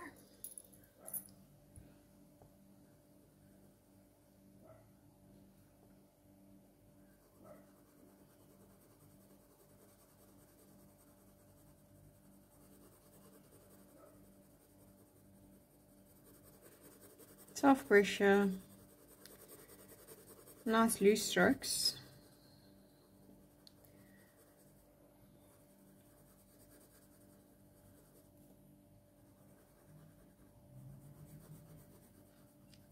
So I'm using, like I said, I didn't put in all these details in. So I'm using everything that I did put in the tack and this, I'm using that to reference where I'm putting in. So this is slightly in line just a bit higher.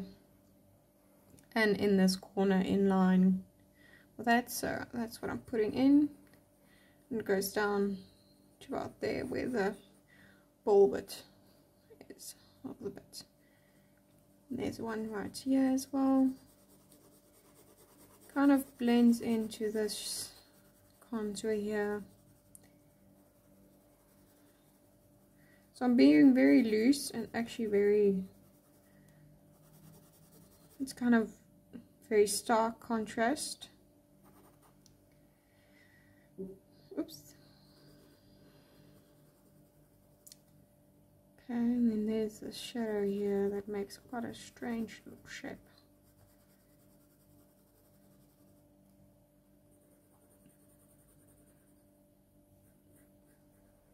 and we'll refine that when we put in the highlights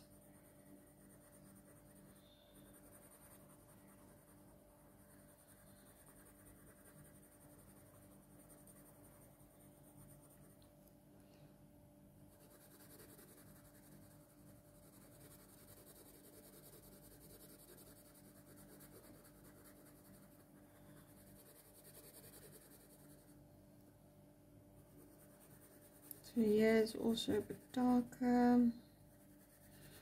And these parts that I'm leaving white, I'm just going to blend over it with a stump.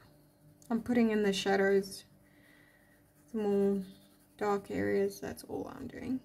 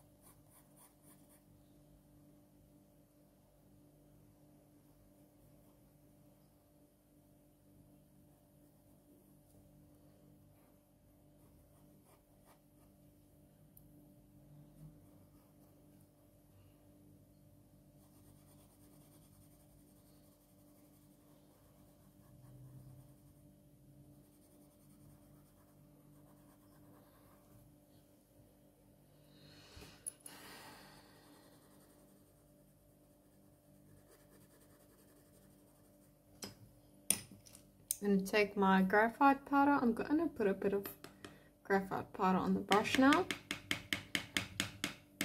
Really tap it off the excess. And we're just going to blend. Also scratching motion. If you feel like you took off too much powder, you can easily put in more. That's what I'm going to do now.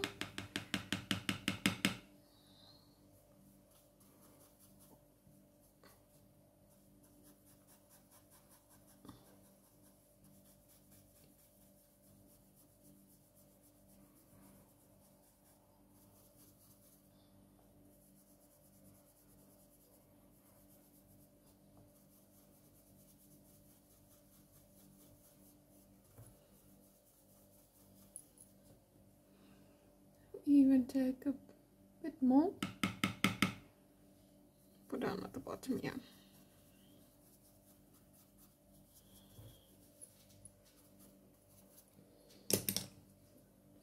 right. We're gonna just the same as the top here going to take my 3d 3d 3b pencil and we're gonna start from the top and work our way down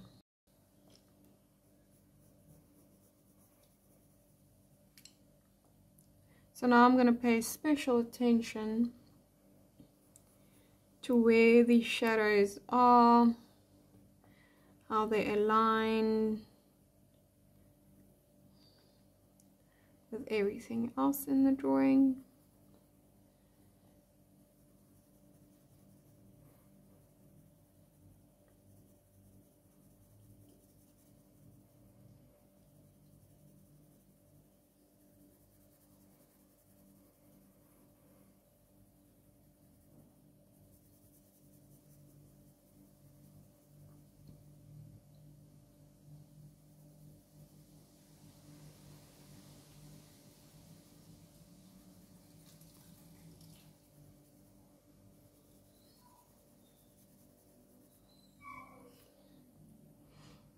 So remaining loose, sketchy.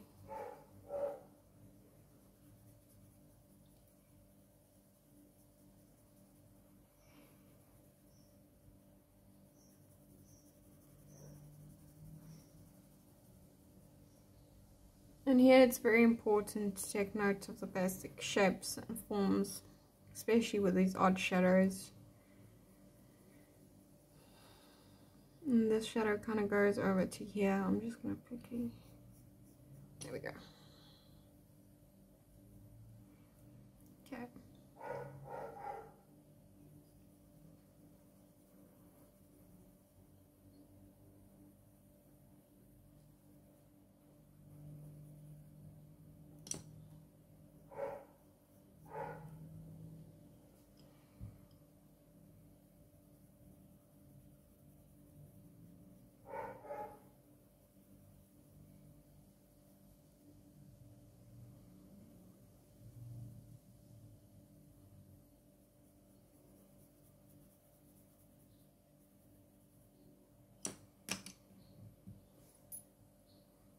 Brought this in too far so I'm just gonna erase it.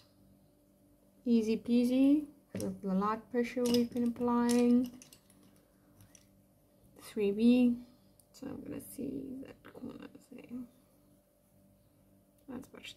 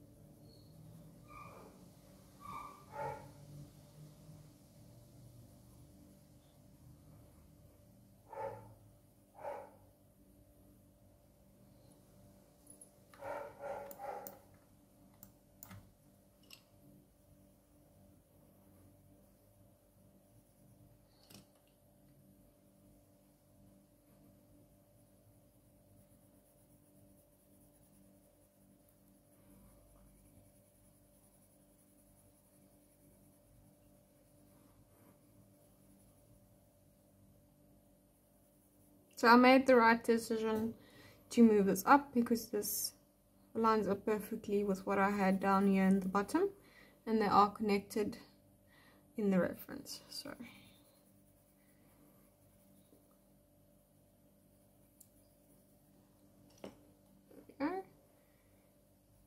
Now I'm going to take my 2H pencil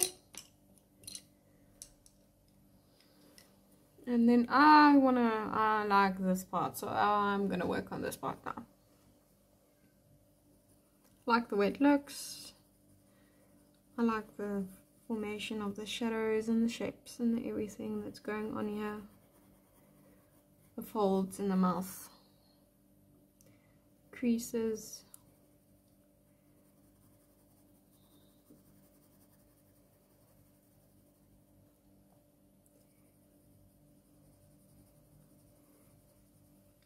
a nice highlight right here.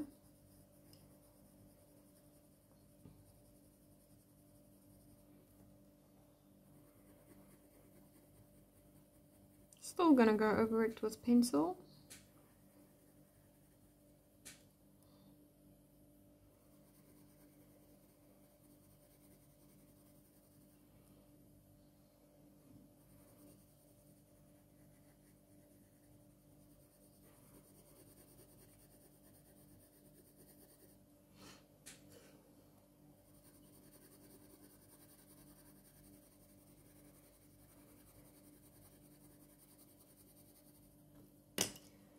Use my blending stump and blend it all out.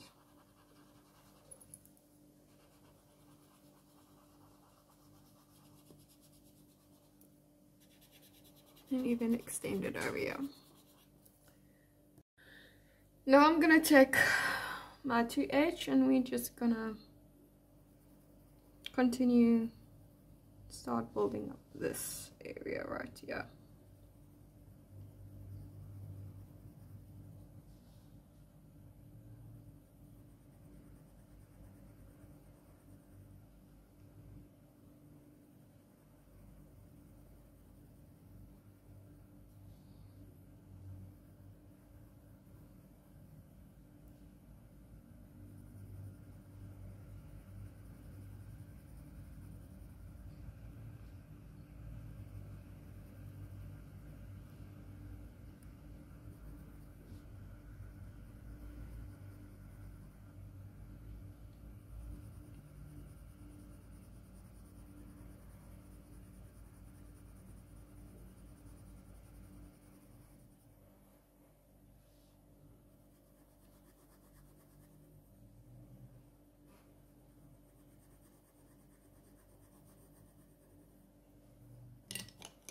Take my 3B pencil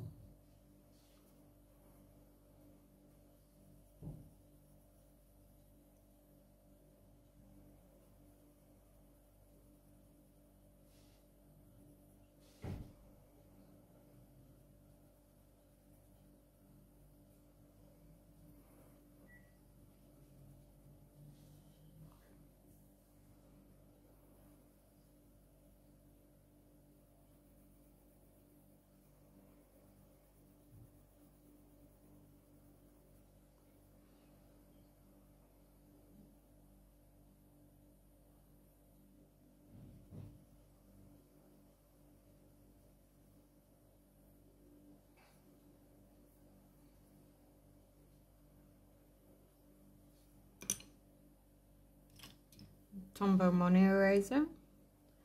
Just going to take out these highlights here.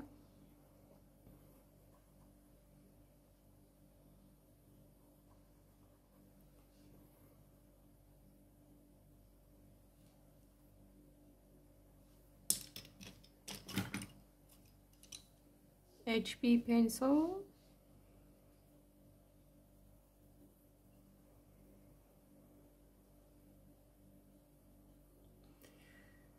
just going to continue defining these shapes and forms.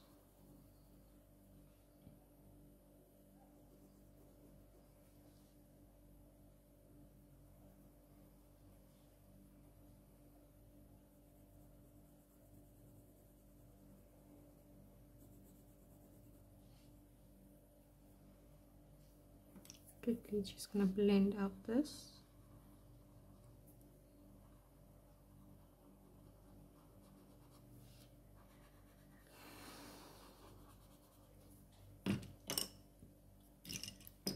HB pencil.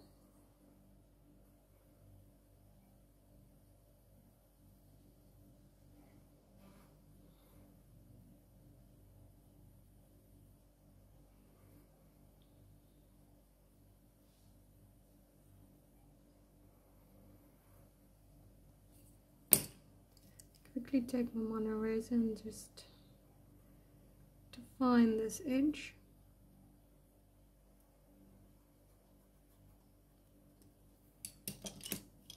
and take my 2H and further define. There we go.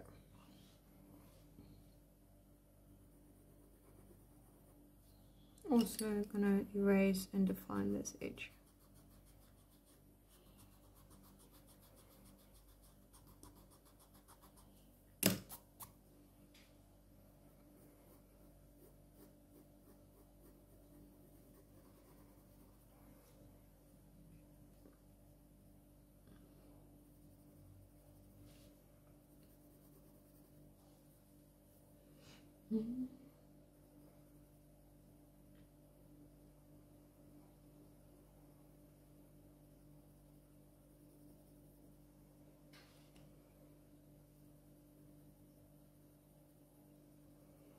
Using quite harder pressure now and just blending out what I've done previously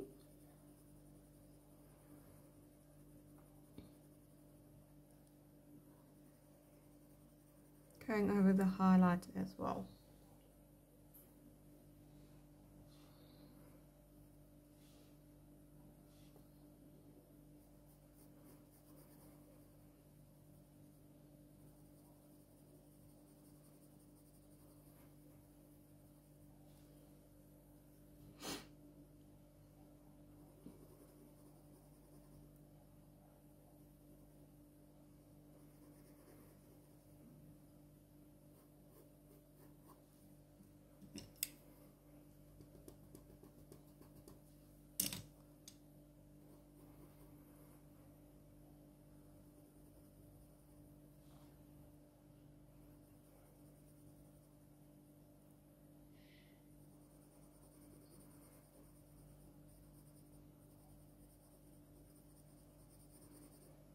There's some very subtle lines and shapes and contours in this part and we'll be building up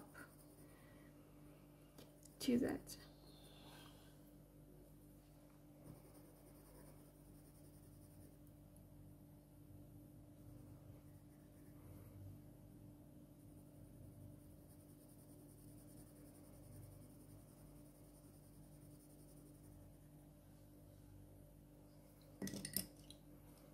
Take my 8B pencil.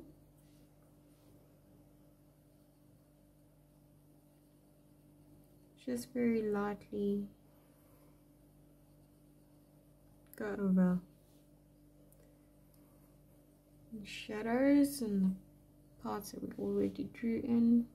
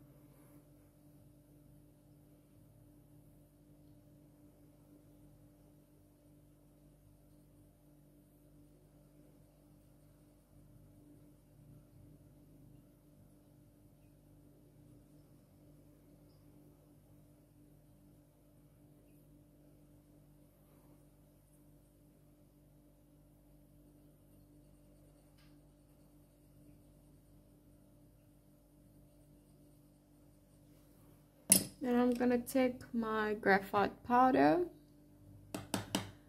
and blend over it.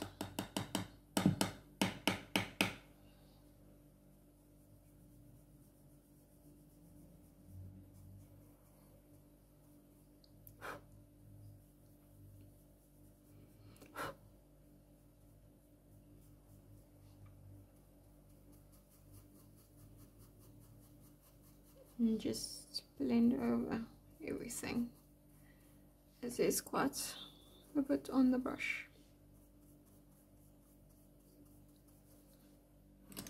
And I'm going to take my mono eraser and just quickly clean out there. There we go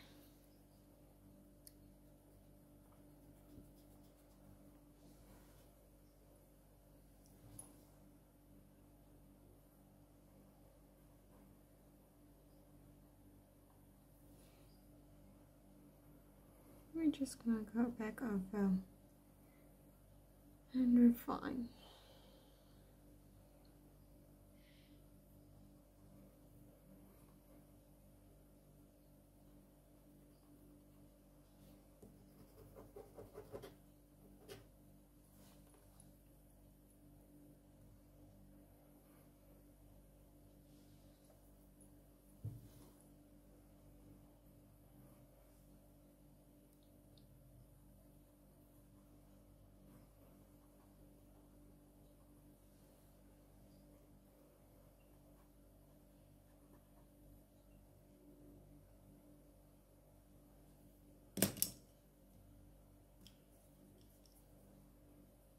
just softly blend over that.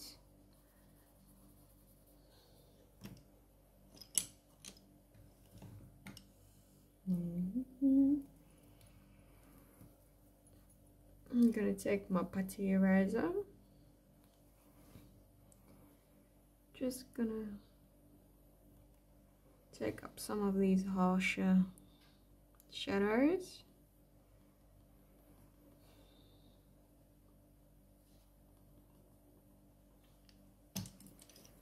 Just gonna blend it again.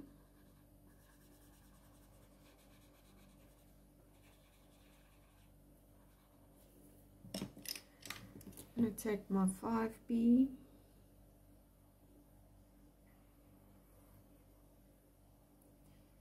and just rework those areas.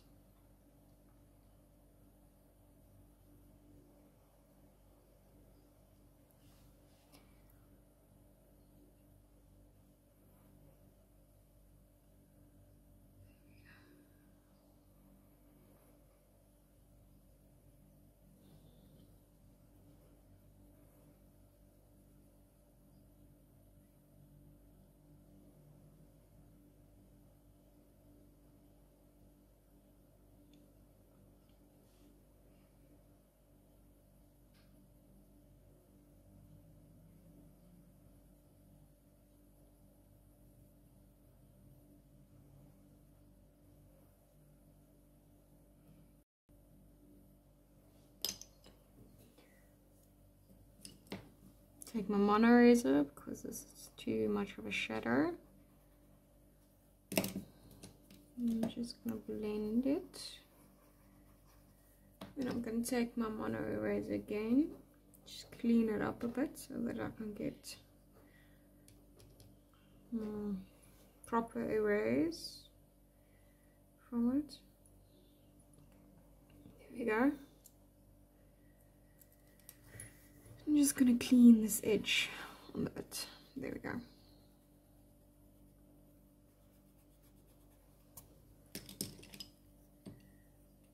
I'm gonna take my 5H here. Just work on this. I'm gonna slightly put in some here on the bit something. There we go. That's better. Putty eraser.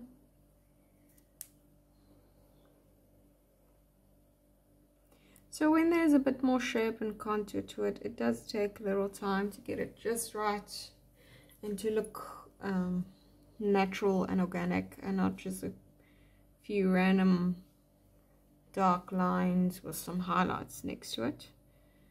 So it does take a bit of more finessing. As you can see, I'm really taking pencil away and adding it in. I'm gonna take my 8B pencil and just really put in a defined line there. It kind of just fades away. And then I'm going to do the same here put a really defined line in. And kind of darken this up because I need some reference not make it look out of place. There we go. That's much better. So I'm going to take my 5B again and we could just just work on it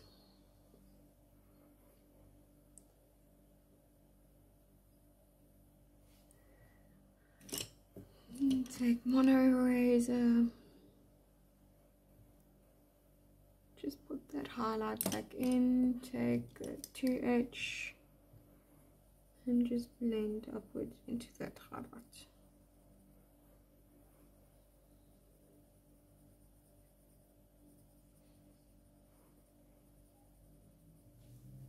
There we go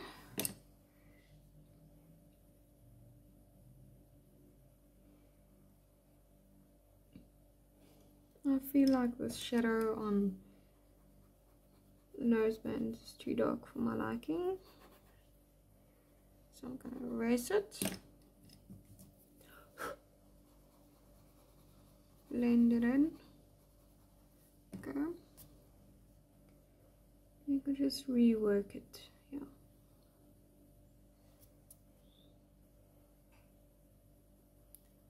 That's much better. There is a dark line, but as I said earlier, the shadows aren't always solid. They have some stuff that happens inside of it.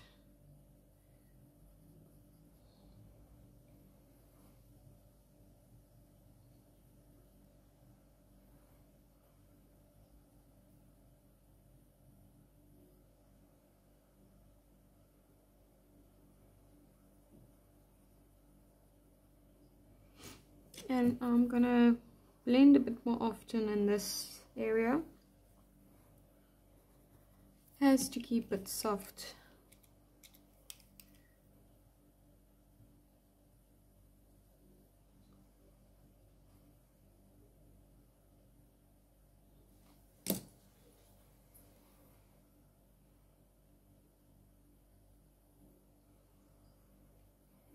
That to keep it soft doesn't necessarily mean you need a lighter pencil or H pencil. You can continue working on as I'm continue working on with a 5B. Can build up my layers quite comfortably with this pencil. It's all about the building up will make it darker and erasing and the blending will keep it nice and soft.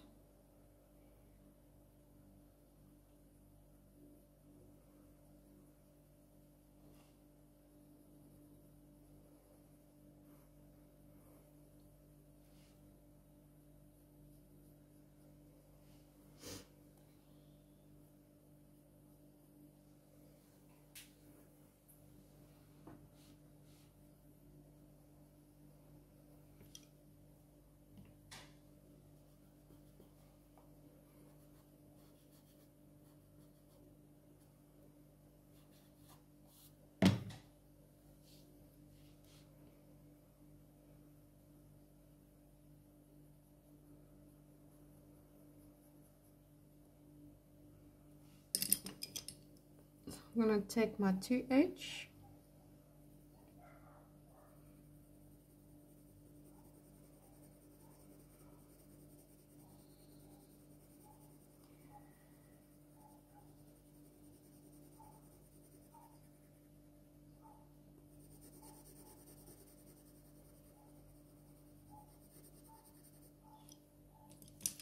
take my blendings just blend this in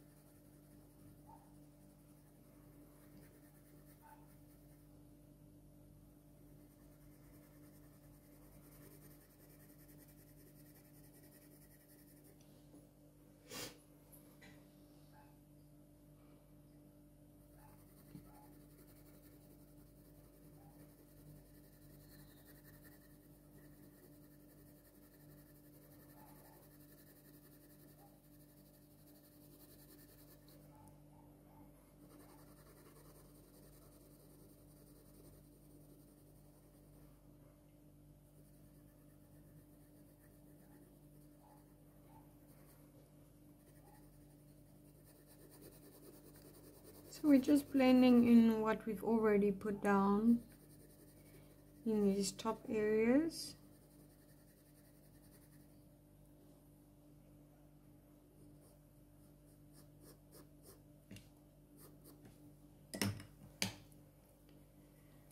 And try and keep it as white as possible.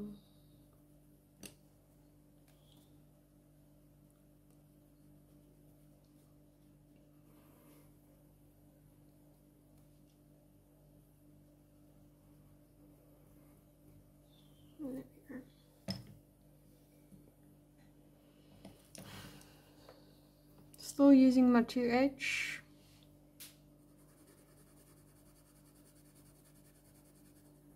This is going to be a similar process, this area, as to what we're going to do for the neck.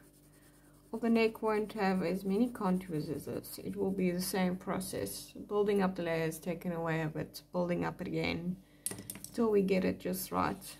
Because it is going to take some finessing to make a large area not look flat. Actually have some dynamics to it.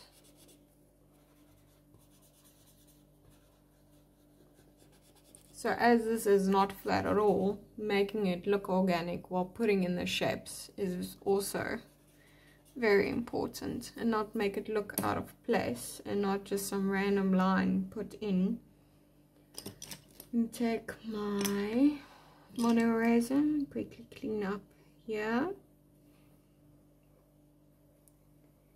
There's a slot highlight from the shutter.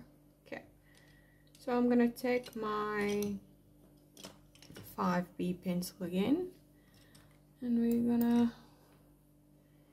continue working on building up our shadows. Not yet feeling the need to put in details.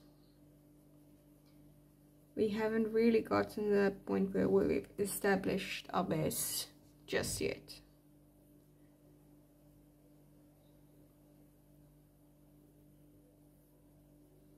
So I would recommend putting in the details and focusing on that once you start getting very happy and um, content, yeah, with what's going on underneath your details. That's when I'll start focusing on what I'm putting on top.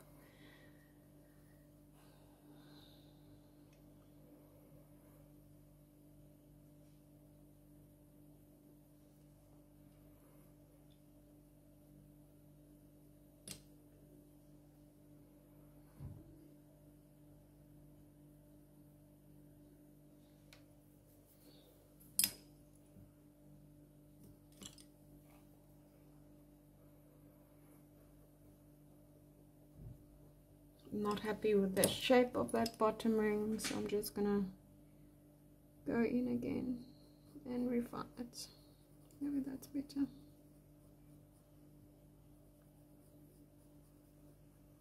There we go.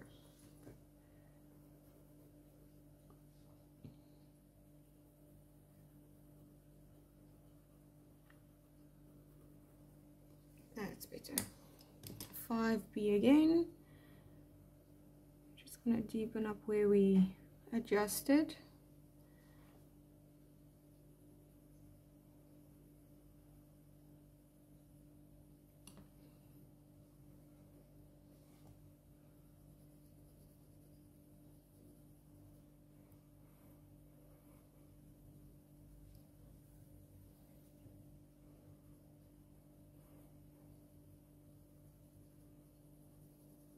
So this ridge lines up with this one that goes here.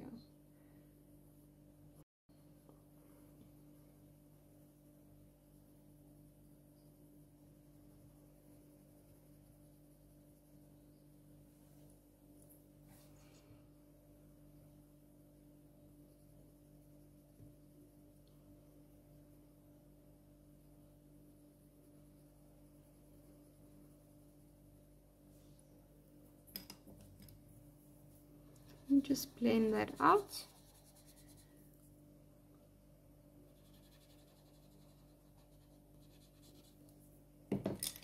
Five B again.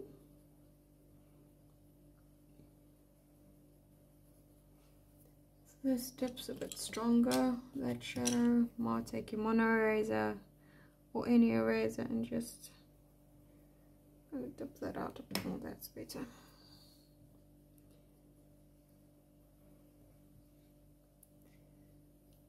kind of goes across like that, yeah.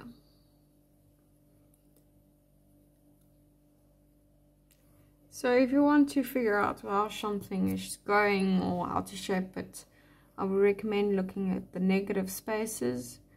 That can sometimes give it away how it's actually looking like when your eye wants to form it a certain way. But the looking at the negative spaces kind of breaks it down and gives you a truer shape to what it actually is makes it a bit easier to figure out what what shape you're actually supposed to draw it in. So yeah.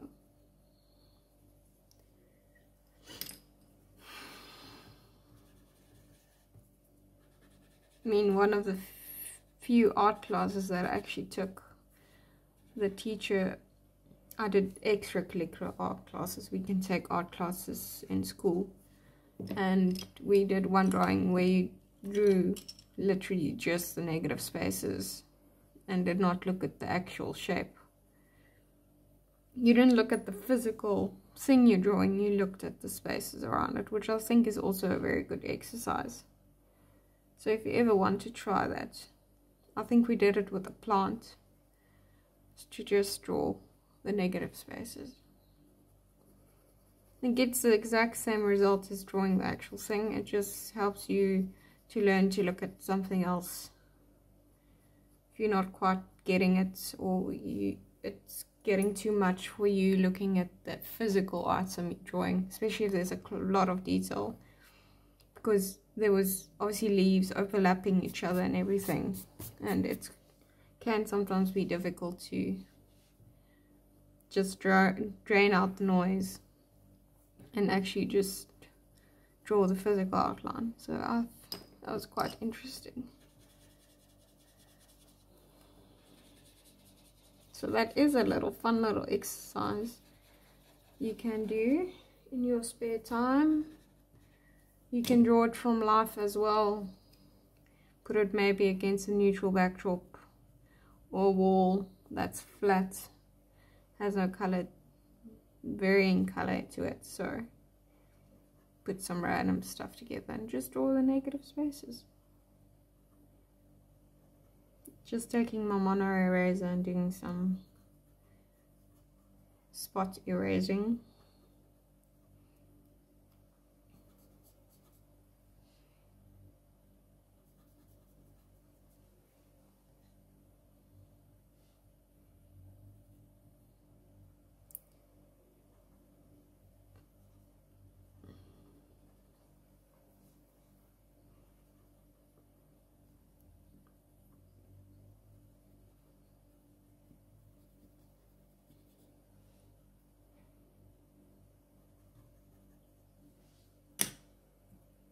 Just gonna take my brush and just blend. Just softens the high the erased part. And then we're gonna continue building from there. Take my 2H pencil. We're just gonna continue to build up these areas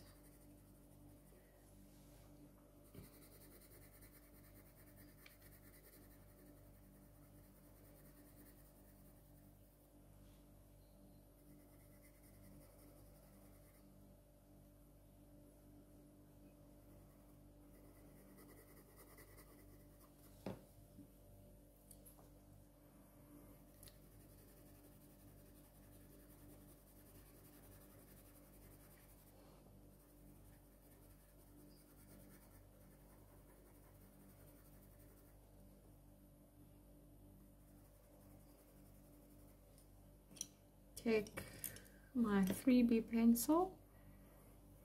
There's just a deeper shadow within the actual shadow that I just want to put in while I'm at it.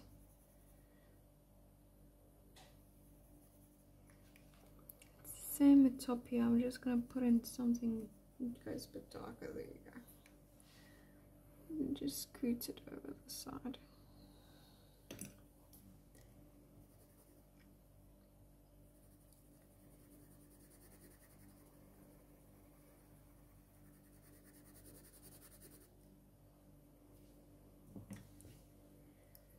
Is more open so I'm just gonna quickly remove that dark part and blend it out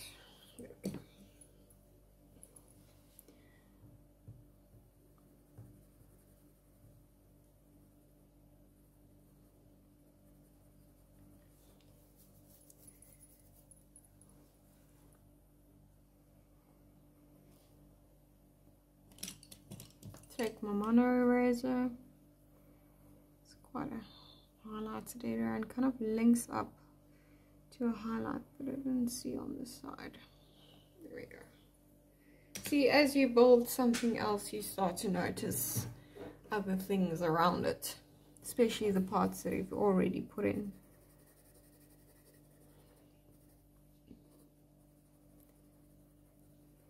And that links up to that little veined edge which we drew there. Just gonna put in a dark outline for this noseband leather there.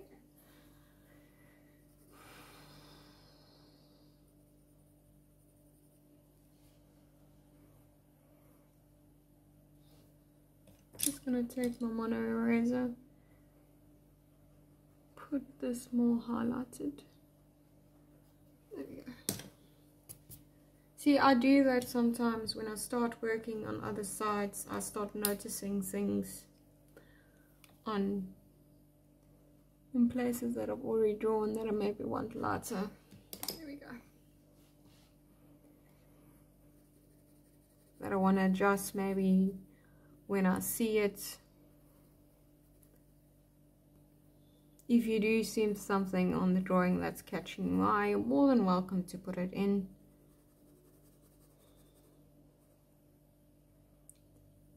We all see it differently. There might be some things I ignore and just decide not to put in, but you would be like, oh, but I like that part, I want it in, please. And then you're more than welcome to do that. Make it your own. Just gonna straighten this edge up. Here we go. There's a deep highlight. And just straighten this edge up. And then clean it up on the other side.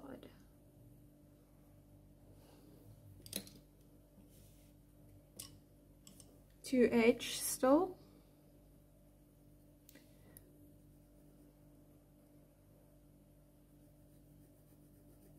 just put in there. It is a dark shadow there.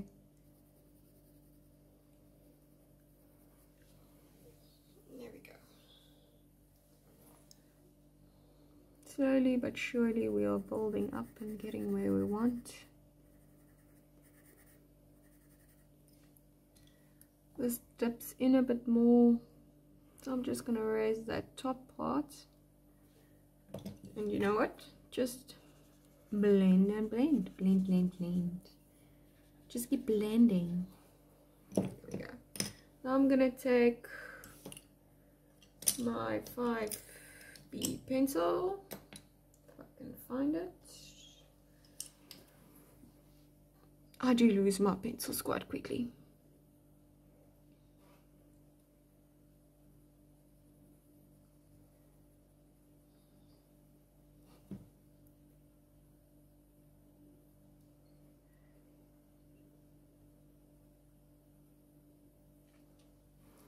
go.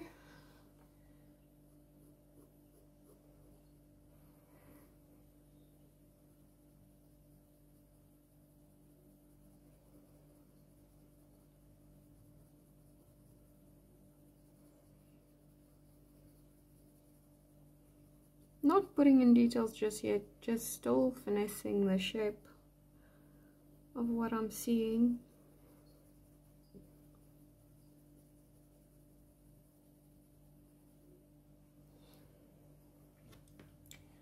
This is definitely rounder. So I'm just gonna round that highlight out. There we go.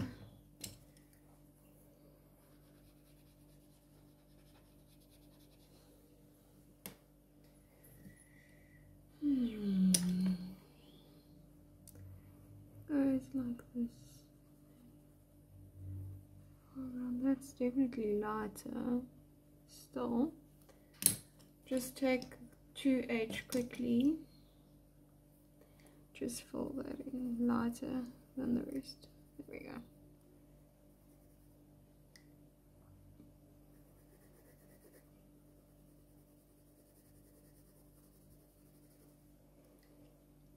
Because this highlight is formed by this shadow as well.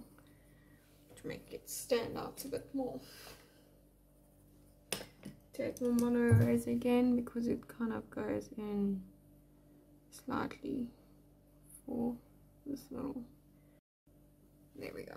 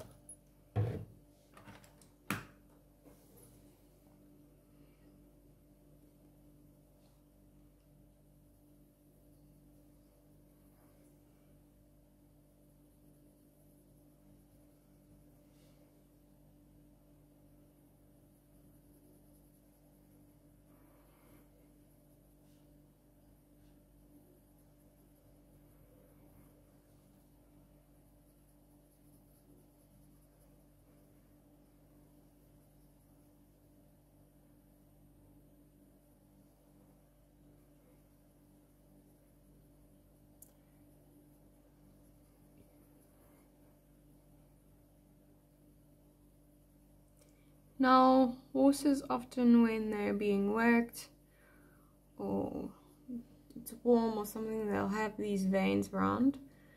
And I quite like drawing them in. The trick is just to draw them in such a way that they blend in and don't actually stand out too much. Uh, because I can sometimes find if you don't blend it in quite well or the highlights too stark and the con the shadow is too deep. It can sometimes looks it looks out of place on the horse's head.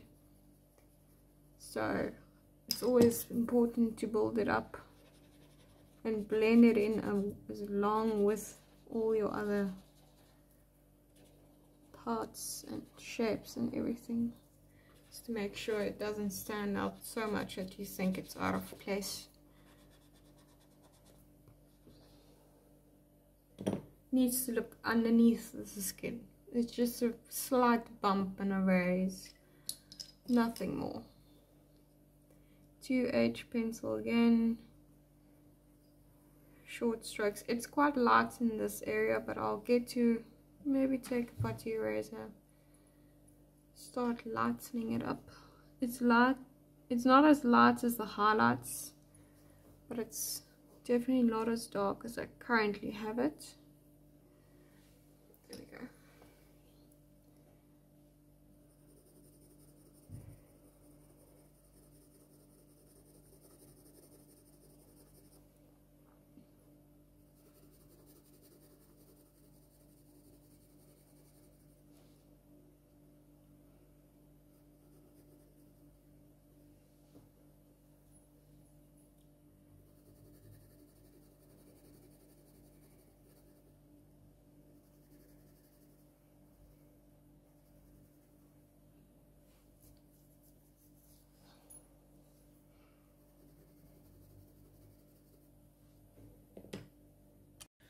Okay, so we're going to continue off where we left off. This is another day, by the way. So we will see.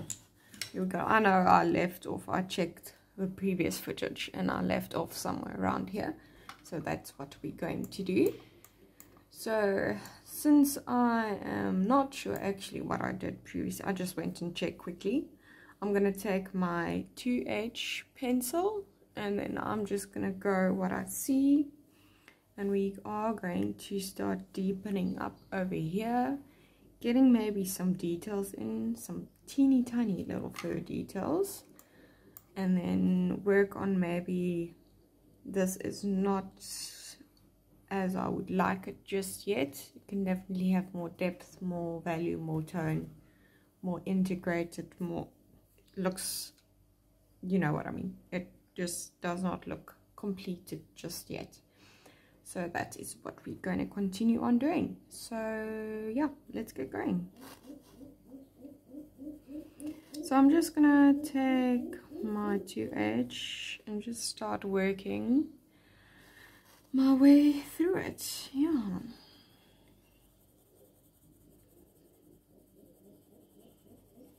So I know this is gonna be a long project. I know my A3s can take a little while.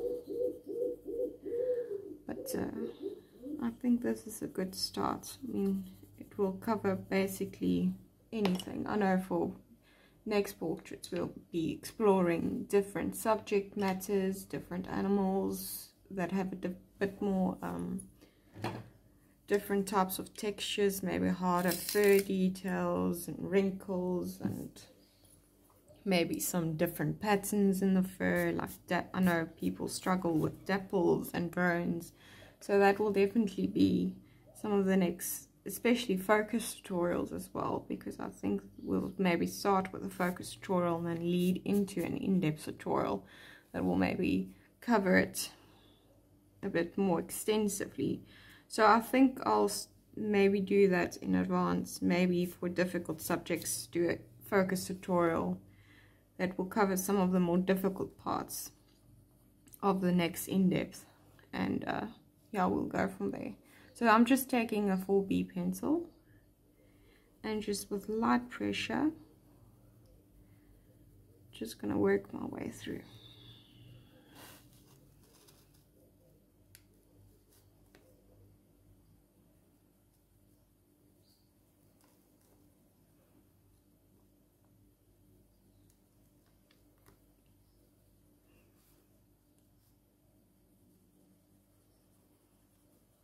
So it's actually been a while since I've drawn on this, so I will also I'll start seeing things that I haven't noticed before. Uh, so we'll see what happens. I need something a bit lighter than a 4B. No, not a B pencil. Maybe a 2B if I can find one. Ah, no, that's not what I'm looking for.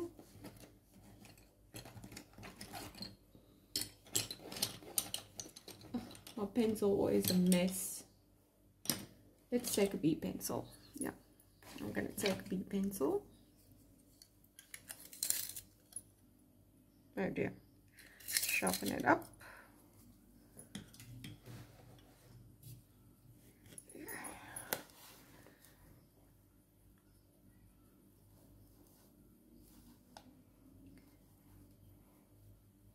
So I just want something a bit lighter than the 4B. Hmm.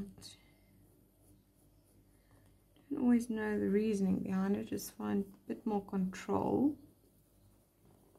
of what I'm putting down. Especially if I'm going to start building up the tones and the values. All the shadows and everything.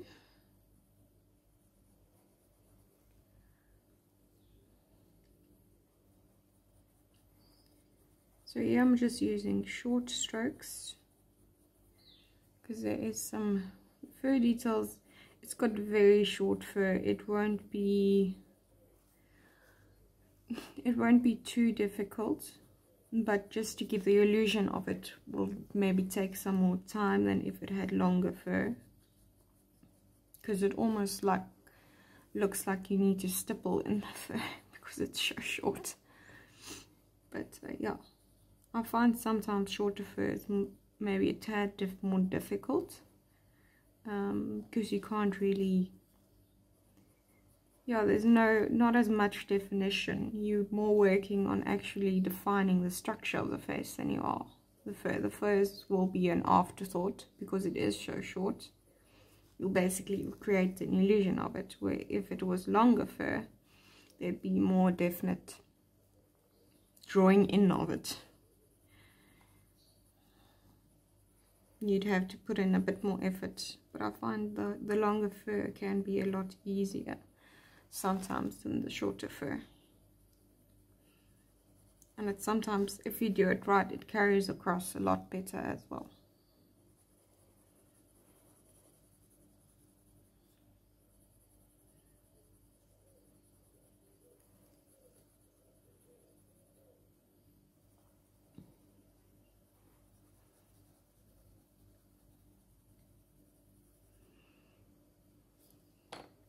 So I'm just going to take a blending stump and blend in this as there's a ridge here that's got some highlights. So I just want to blend it in.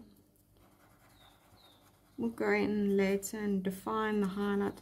It's not that highlighted, but it's definite.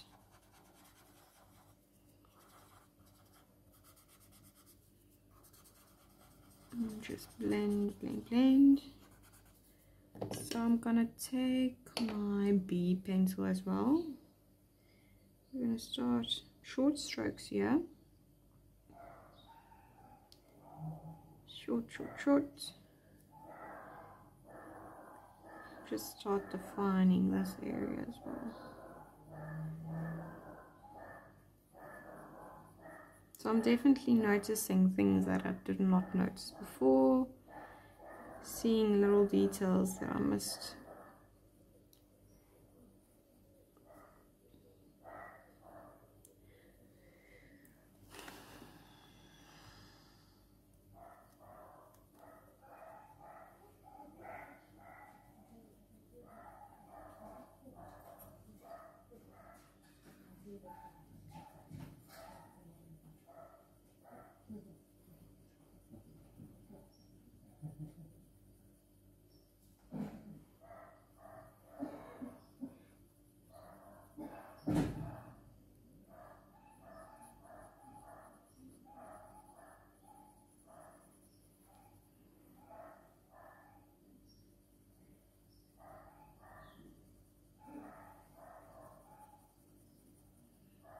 So still using short strokes, soft pressure.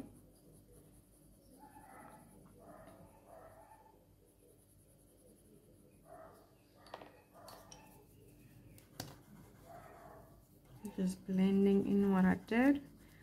I'm going to take a mono eraser just now. If I can find it. I'm so bad at losing my things. Ah, there it is.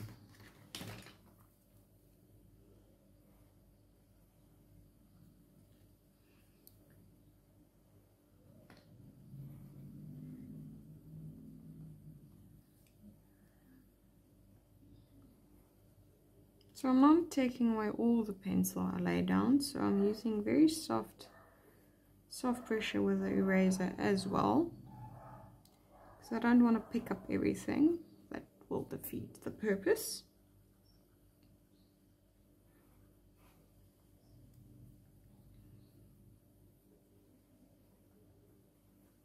There, I've removed a bit more because it's lighter there than I last saw it.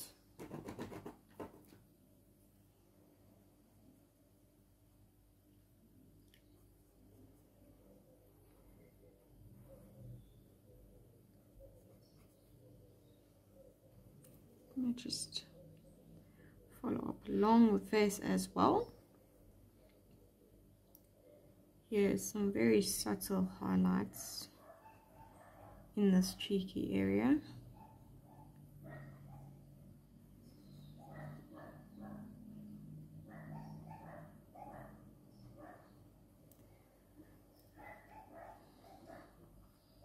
I mean, you can rush it and make it get where you want quickly. But I think things like this, you have to take your time with it to really get the best results. To really build it up. I know some of them. I know I can be very impatient when it comes to portraits. Just want to get it done. But I think we forget the progress. The process of drawing is sometimes the best part. I know the satisfaction of seeing it done is it's great, it's awesome. But just actually doing it. It's nice.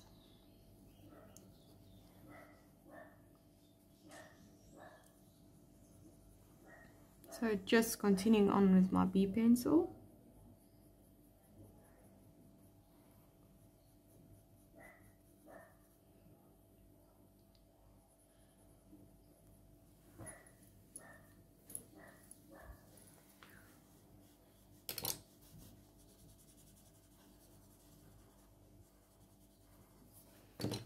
Take the slightly darker pencil, my 4B.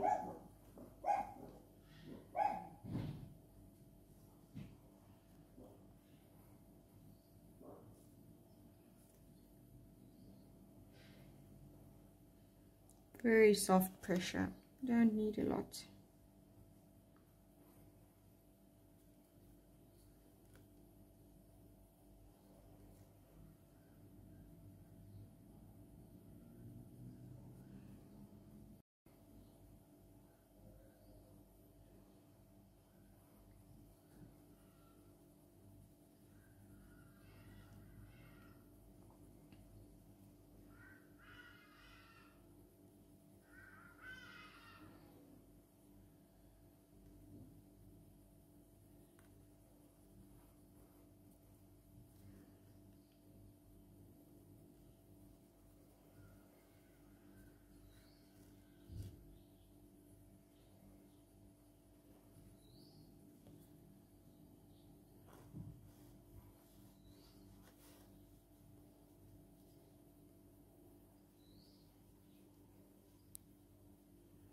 I'm not really blending in, I'm using strokes to for this pencil.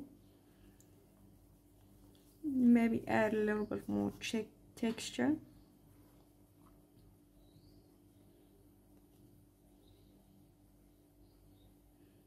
Just going back and forth.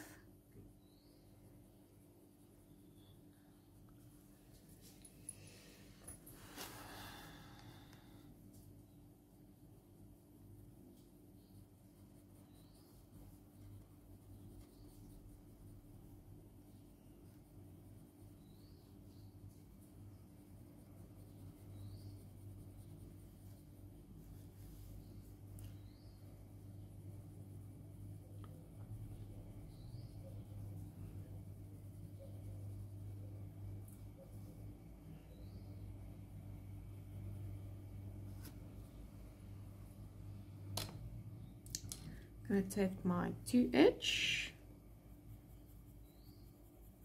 short strokes, a little bit harder pressure than I take with the B pencils. And I'm just using short strokes.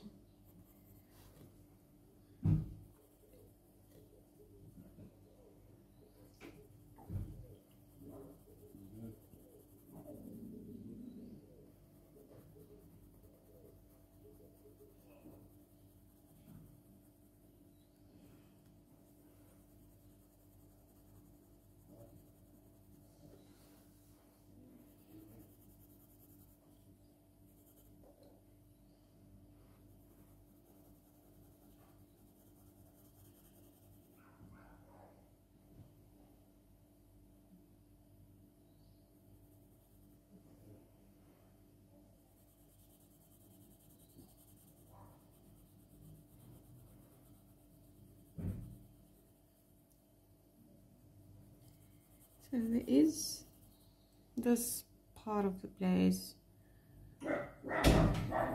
is a bit more in the shadow.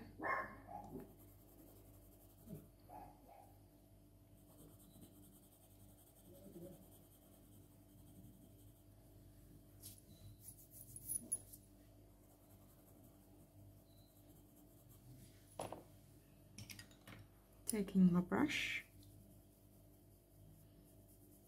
There we go. And just go all over.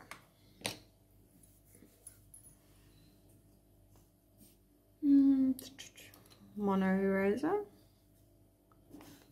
Clean it up a bit.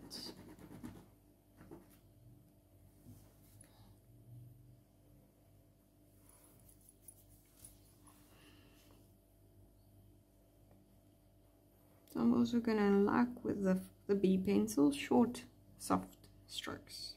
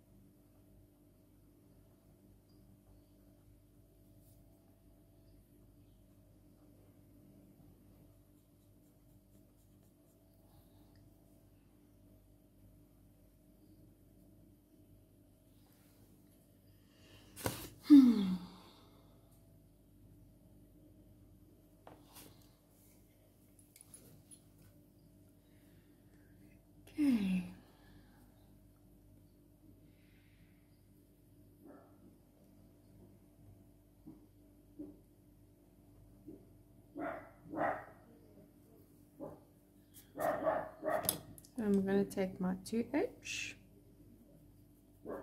short strokes.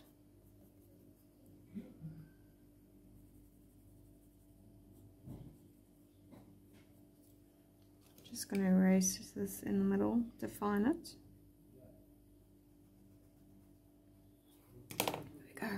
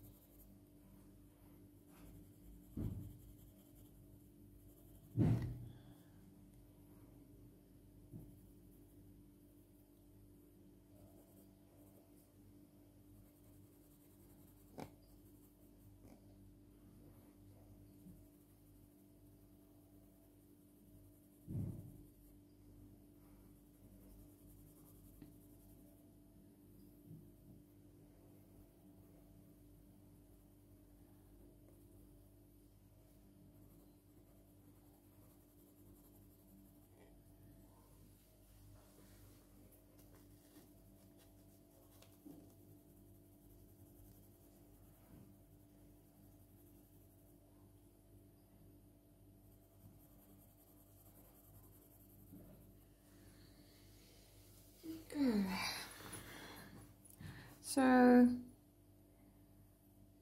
you just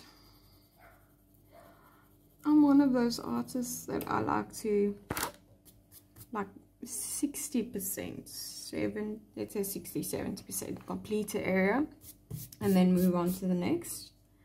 And then at the end I'll go over again and really complete the details. Because once you've completed the whole drawing, you kind of can see where you've maybe gone too dark or too light, or you need to put in more detail or less detail, or push it back more, bring it more forward, and all those things. So I'm going to leave this for like this for now, and then we're going to move on to the bottom part of the face, the muzzle and the nostrils. Okay, so I'm going to take an F pencil now and I'm just focus there we go. I'm just gonna start working on shadows and values and start building up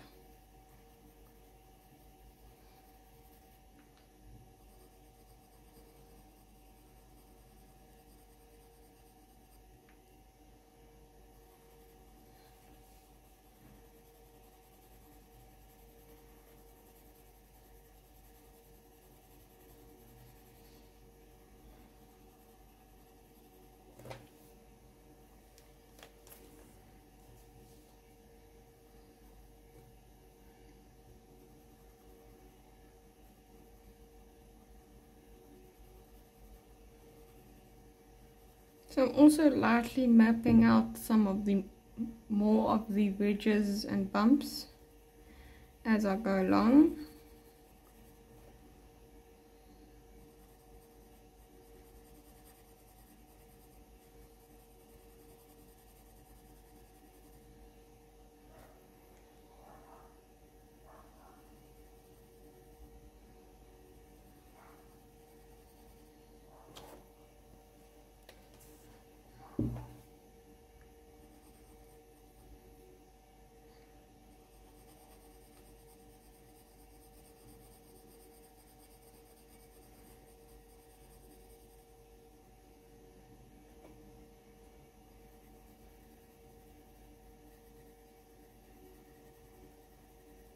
Using soft light pressure as you can see the F pencil packs quite a bit of punch. So light and soft pressure for this. Don't want to go in too dark just yet. You always also see the horse has a little bit of fleshy toned pinky little marking there. Just by the foam on the mouth. Just going to slightly put that in.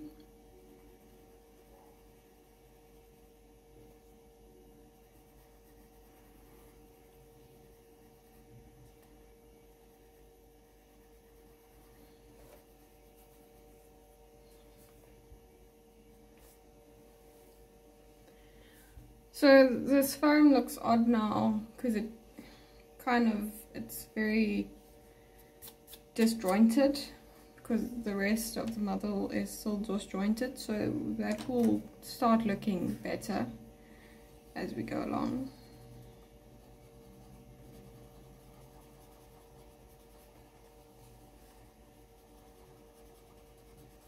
So I'm just blending all of this out.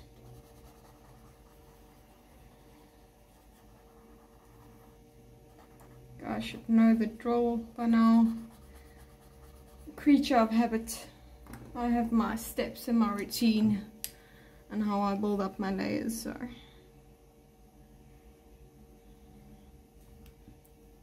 The general principle applies most of the time. Um, but yeah, the execution and certain techniques will obviously change or become new or add something different or maybe try something new. So it all depends on what you're doing.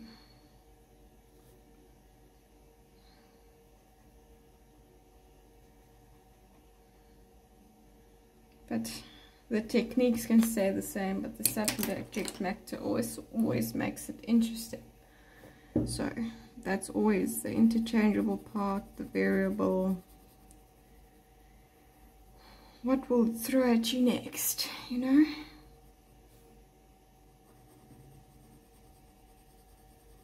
Just going to cover up that highlight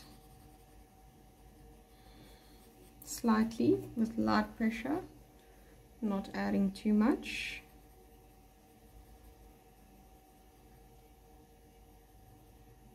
Now obviously if you see a ridge differently than I do, maybe you think my placement's a bit off or you like it somewhere else, you can obviously change it, maybe move it around. You obviously, if you drew the reference up, you might have put in more reference point than I did, which is completely fine.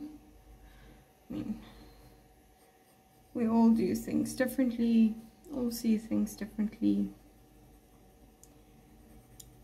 So yeah, you can apply the techniques that I'm using and then you can, I want, to, I want you to have kind of your own way of thinking, doing your, doing your art your way, putting your own style in it as well.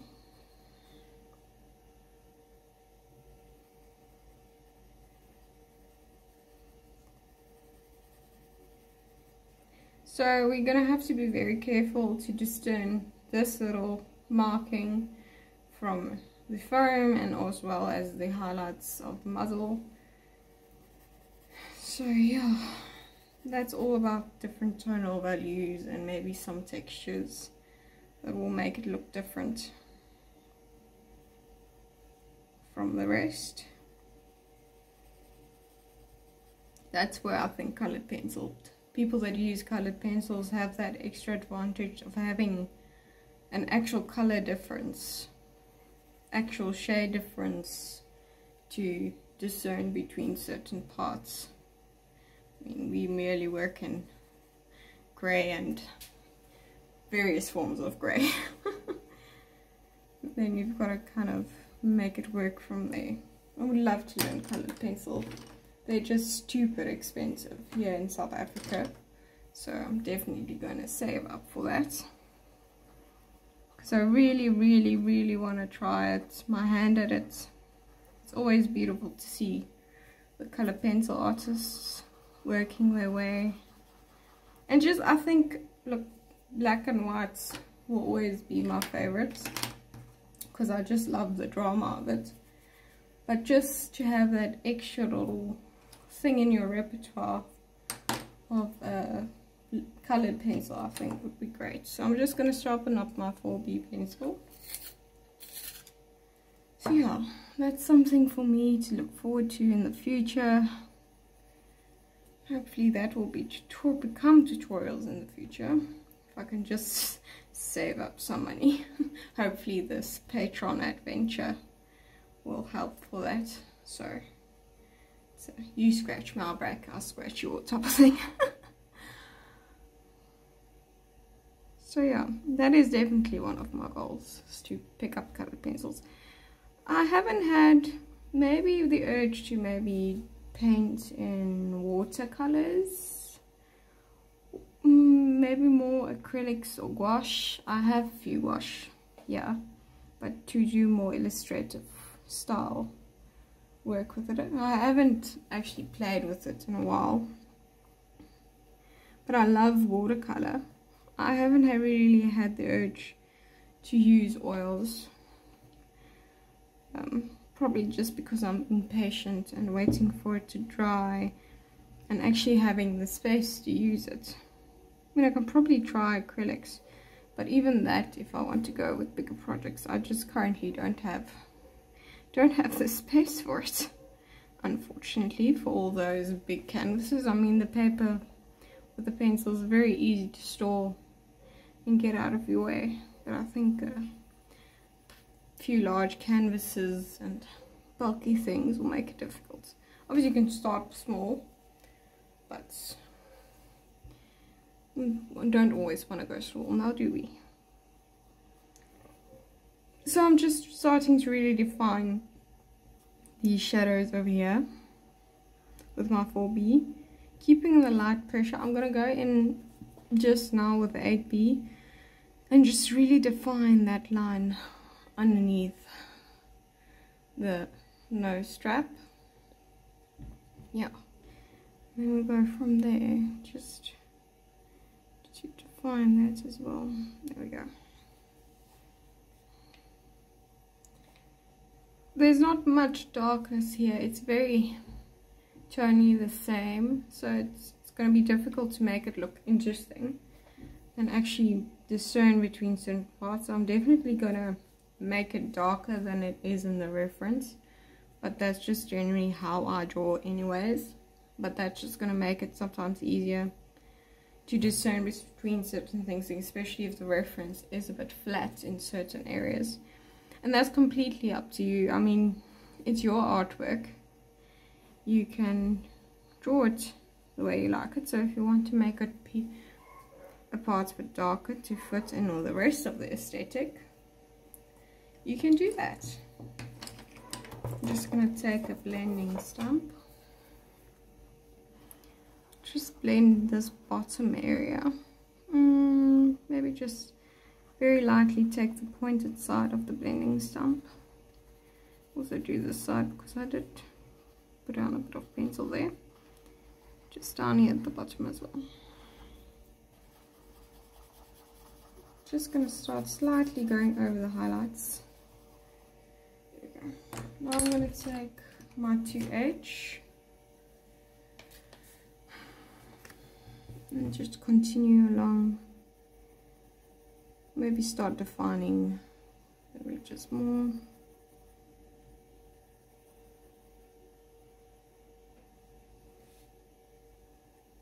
See, there's our little pinky mark.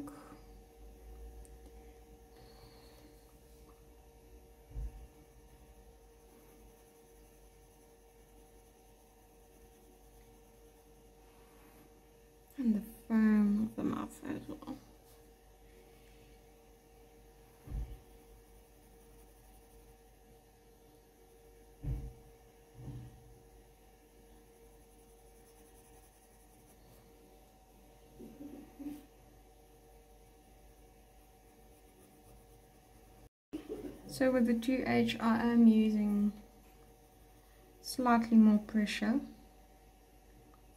That's just to get it to show up and also make a difference actually in the drawing because you do want to pick up a pencil that actually will make a difference. I mean I will sometimes pick up an H pencil just to blend out a certain area and that will also make a very subtle difference and I sometimes like that effect that it can have.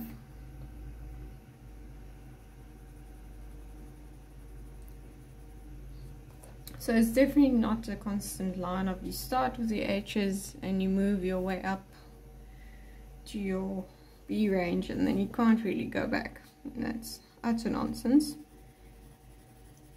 And they work so good together. You need to use them interchangeably.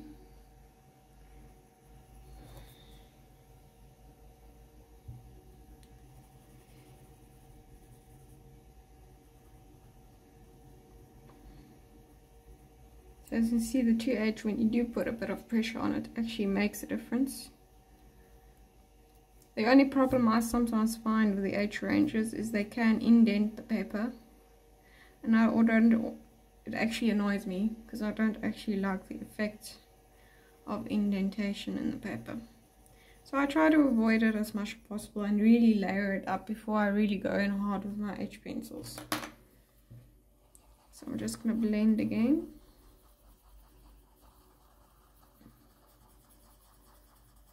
So I'm just going to quickly take my mono eraser.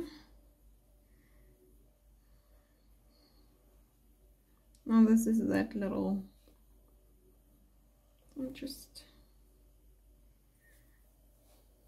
defining it a bit more.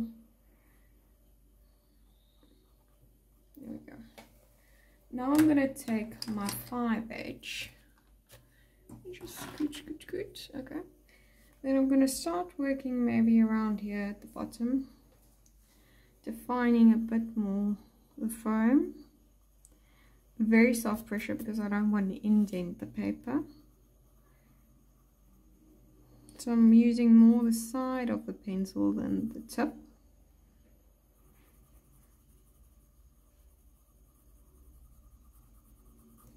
This is actually going to be very subtle because you have to keep it subtle going to take my 2H just to find that there's a little piece of the mouth still there.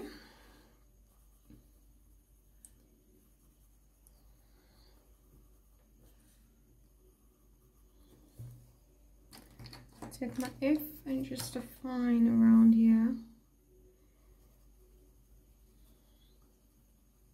Obviously we can take our mono eraser, there's some slight little residue of the foam over here on the mouth, but that can easily be erased with a mono eraser.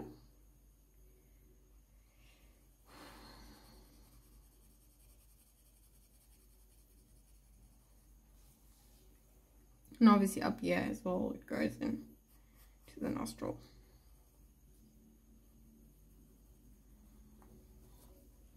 So I'm not going to stick, since it's a fluid shape, I'm not, it's not very imperative that I stick to the reference as is. Can kind of make up my own thing as long as it looks organic and looks like it fits. Then you don't have to be very reference specific for it.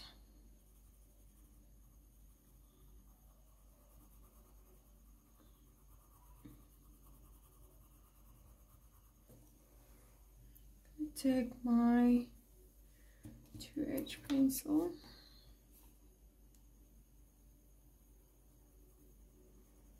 just softly define that. There we go. Because there's little bubble thingies obvious foam is so that we can add later. Obviously imagine that sometimes here as well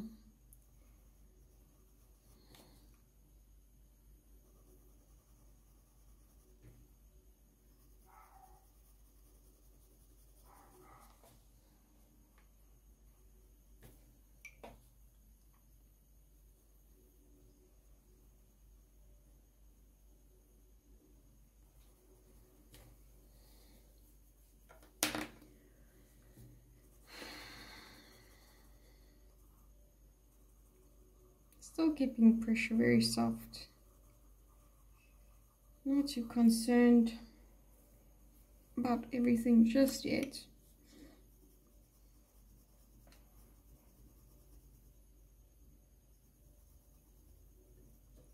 Okay. So I think I'm going to leave that as is for now. And then I'm going to take my B pencil we're going to start now let's define little edge underneath the nose band I'm going to take my trusty HB 8B pencil which is very close to the end of its lifetime but we'll see how far we can push it.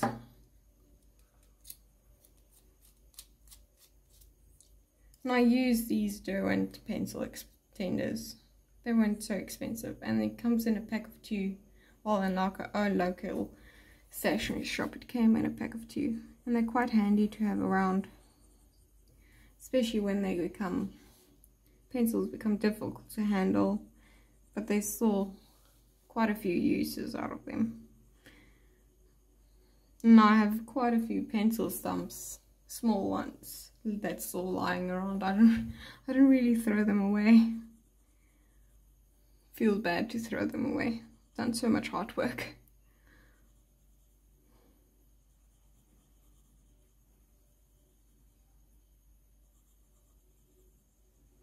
So I'm just going to take this 8B lightly, just quickly take my one eraser, take up this, it's a lot more highlighted here, put that in, and this little ridge.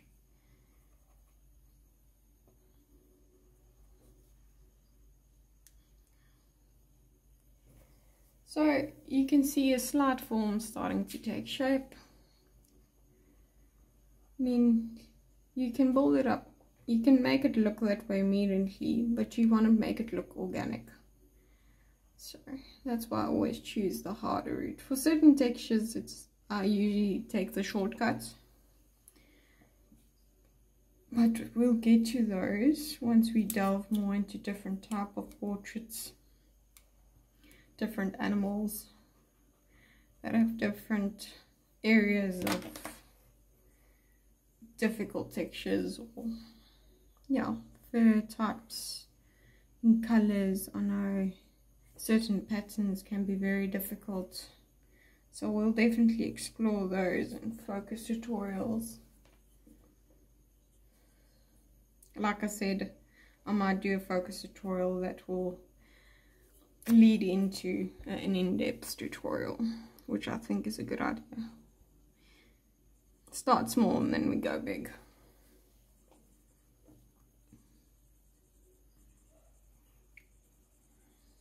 Obviously not all in-depth tutorials will be the size.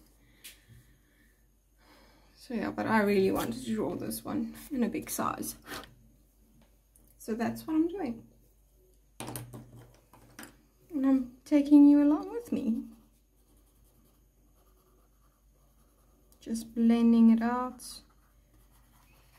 It looks quite flat now but I'm not too worried about that. Got plenty of time. Now I'm going to switch over to the front side of this nostril let's start so here's also the same pinky tone that's on this marking flare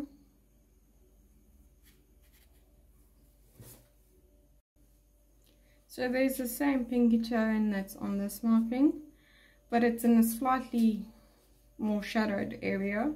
So we'll keep that in mind, but it's same concept. So I'm just taking my B pencil. Very lightly, I'm going to start deepening up the shadows and really start mapping out where everything is going.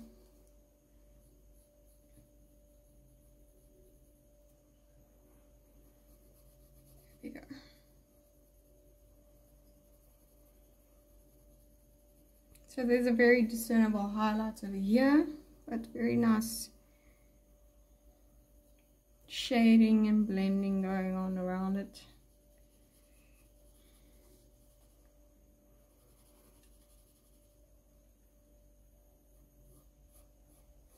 And this definite highlight on the ridge of nostril really makes the deeper shadow line over here. It looks odd now because there's nothing surrounding it.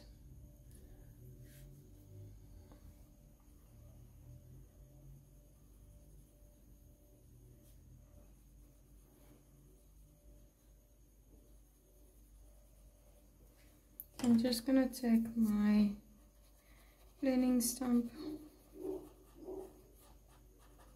I just wanna define this nostril without actually putting pencil down there. And I'm to take my putty eraser and just lightly remove the pencil there. Taking my 5H. There we go.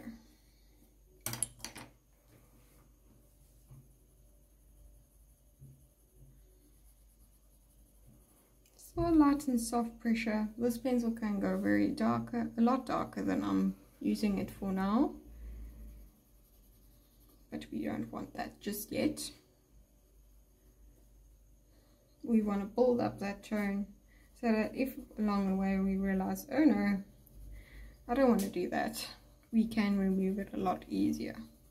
It gives you a lot more time to figure out what you're doing and if what you do actually doing is what you want to do. So yeah. Because I can sometimes become quite indecisive especially if I'm coming back to the drawing after maybe a few days of not touching it. Then I then I will I have erased certain areas that I'm like what the hell did I do in my previous drawing session? I was like I don't like this at all and then luckily because of the method that I use it's a lot easier to erase and then build up from there. So I have done that before as well where I come back and it's like I do not like what's going on here. Not at all. Got to change it immediately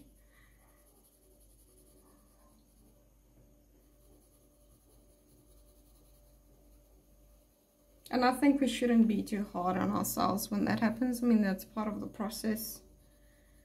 It's part of being an artist. We are, can be an indecisive bunch, I think. But I guess that's just in our nature. Constantly changing the way we think about art and about our subject matter or chosen subject matter or if that changes along the way. So I'm just taking my blending stump, gonna blend these areas and kind of where I didn't touch with a pencil.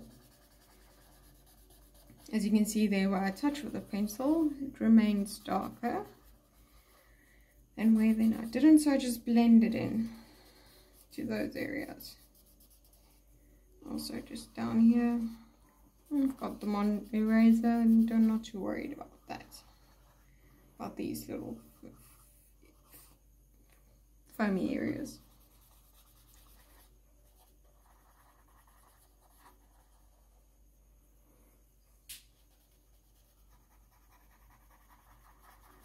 Putting some more pressure on the stump when I get to areas that are a bit darker. And I didn't actually put pencil down, so I'm doing that as well.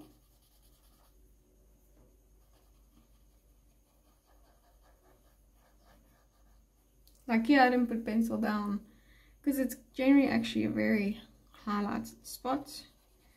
So I'm just defining at the edges of it with my stump, this as well. There we go.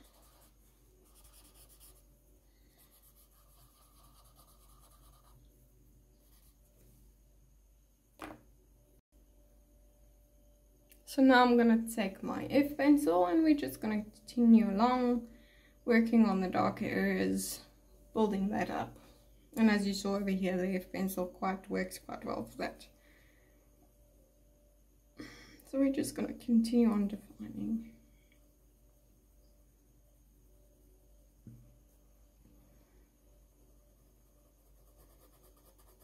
I'm to kind of slightly like sketchy motions just for that area in.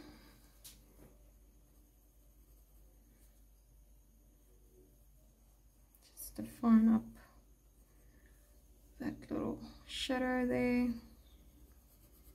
And as you can see, the blended base that we put in really helps with the pencils on top, blending a lot easier and not looking as harsh, which I quite like.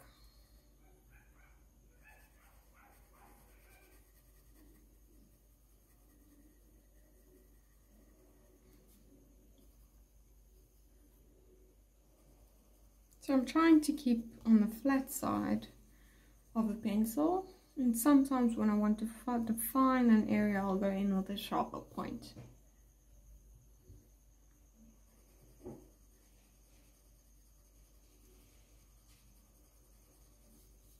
Just using circular motions as well.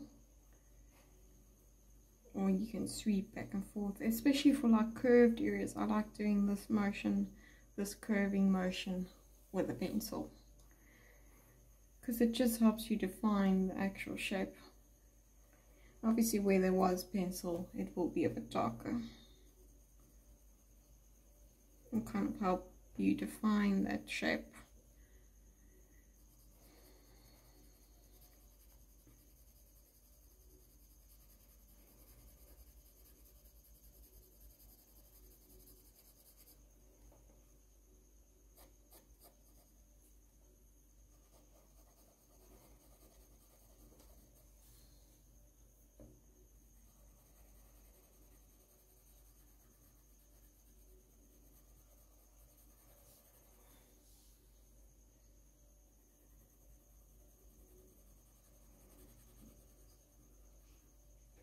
So there is some dirt with the horse ate with the bit in his mouth. So there's some green foam and dirt over here.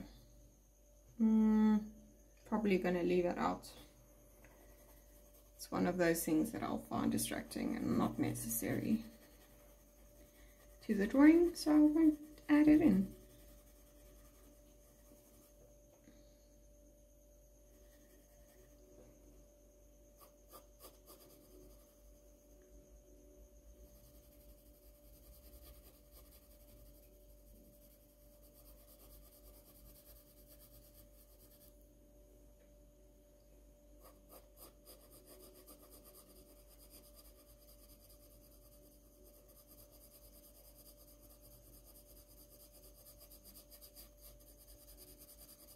As you can see, the motion of the pencil is very loose and sketchy.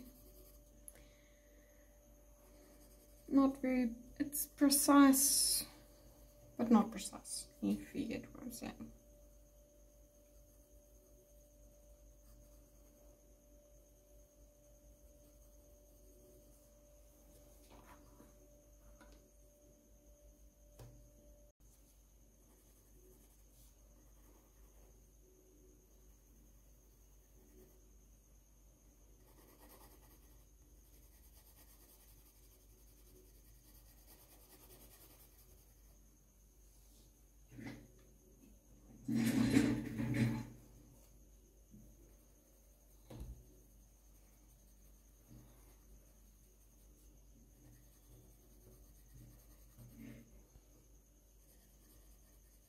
I'm also slightly starting to define certain of the smaller ridges, smaller line. There's little bumps in the nostril area, but that's final details. I'm not worried about it for now. I'm going to take a cleaner blending stump this time. So this will doesn't matter on the size as long as it's got a nice point to it. I'm just going to use slight pressure. This one won't add as much extra color, oh, not color, but depth as the smaller one I just used. There we go.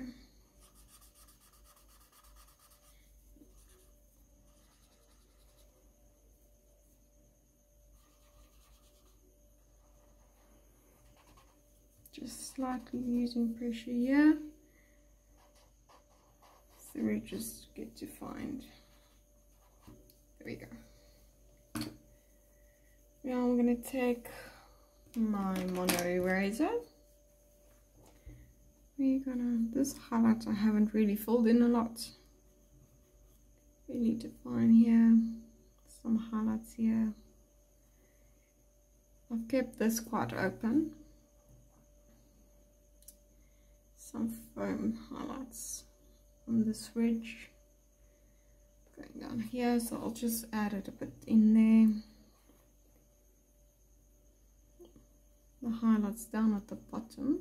It's not at the top it's at the bottom. Over here it starts going at the top of the little indents and the lines.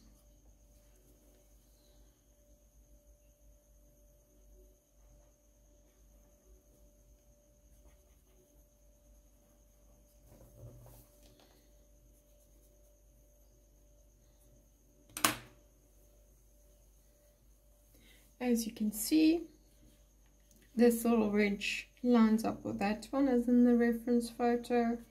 And this one there's one slight little bump that connects with this over here. So always bear that in mind as well when you're drawing out things that it lines up with what's going on on the other side especially when you've got tack. It sometimes moves a little sometimes slightly off but just make sure that it's kind of lining up. And it moves in a continuous line. Or the the idea is there that it's the same vein or contour.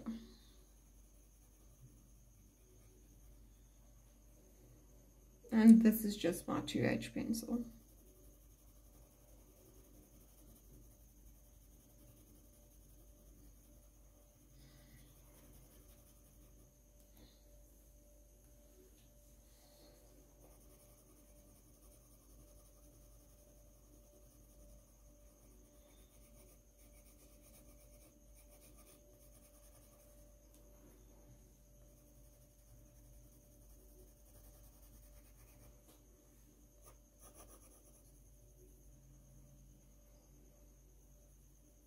So these little foamy bits have quite defined edges on them.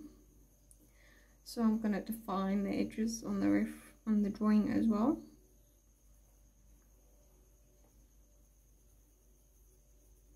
There we go.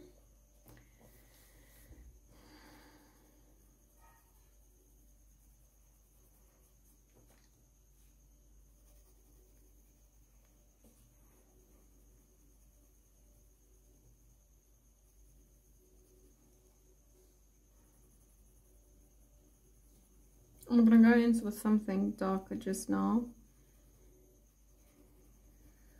in this nostril area.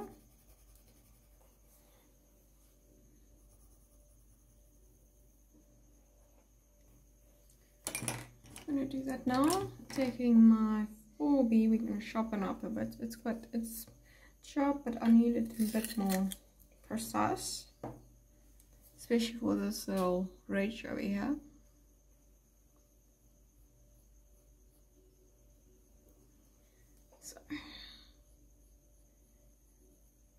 This is actually not very hard pressure that I'm applying here. It's just the pencil, you let the pencil do the work. There we go. And now we're just going to blend out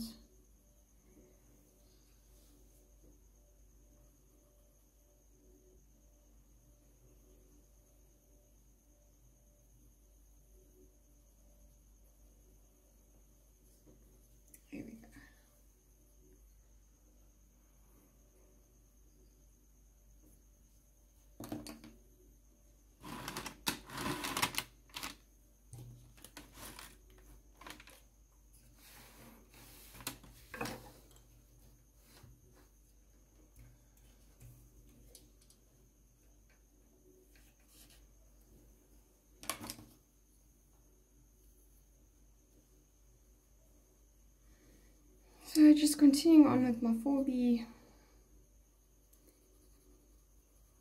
And then we're just gonna very, very, very light pressure.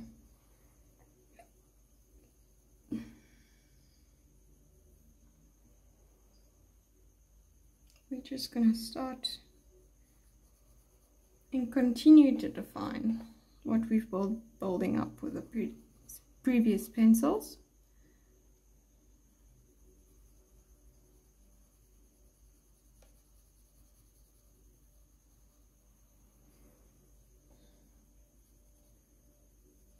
Using soft circular motions, flat side of the pencil that's been worn down circular motions. We're just working our way around.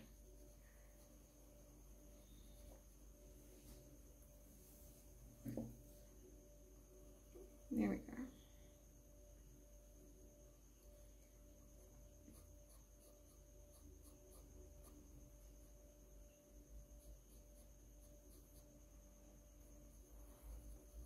Looks odd now and out of place because everything around it hasn't built up, but I'm just putting it in for reference that as I blend it out, it stays there and it kind of blends in with the rest of the drawing.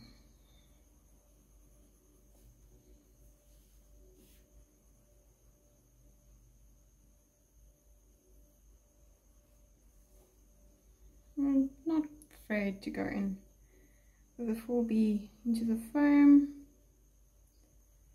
I think it will maybe add some nice dimension.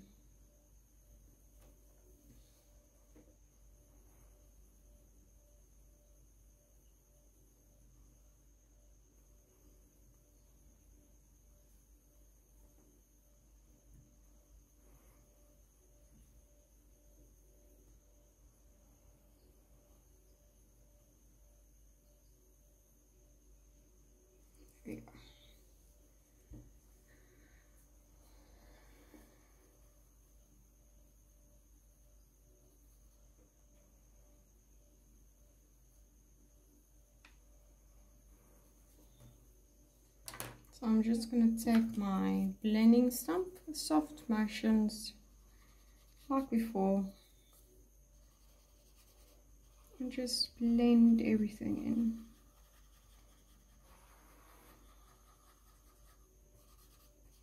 And the B pencils really do blend nicely.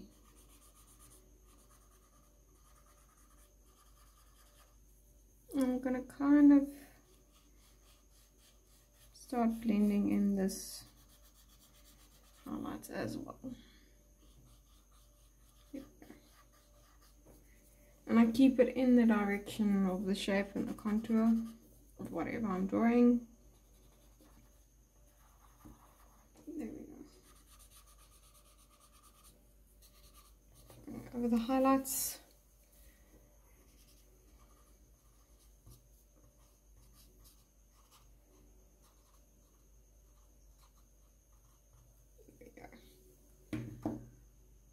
Okay, so I am going to cap this off here for part one of the tutorial. Um, I think this basically covers the basic of this front part. This tutorial is going to take a while, I have to say that. But I think it's going to be a fun one. We've got all the tack and the, all the bits and the bobs and the mane and the neck and everything. So I'm going to leave it here. This is a basic covering of this whole area, which I think is a good start. I would happily leave this and then move on to another part of the drawing. Um, as I've said multiple times, I like to cover the area first roughly and then go in with details later. So yeah, this is part one and I really hope you enjoy this and I can't wait to see you guys for part two.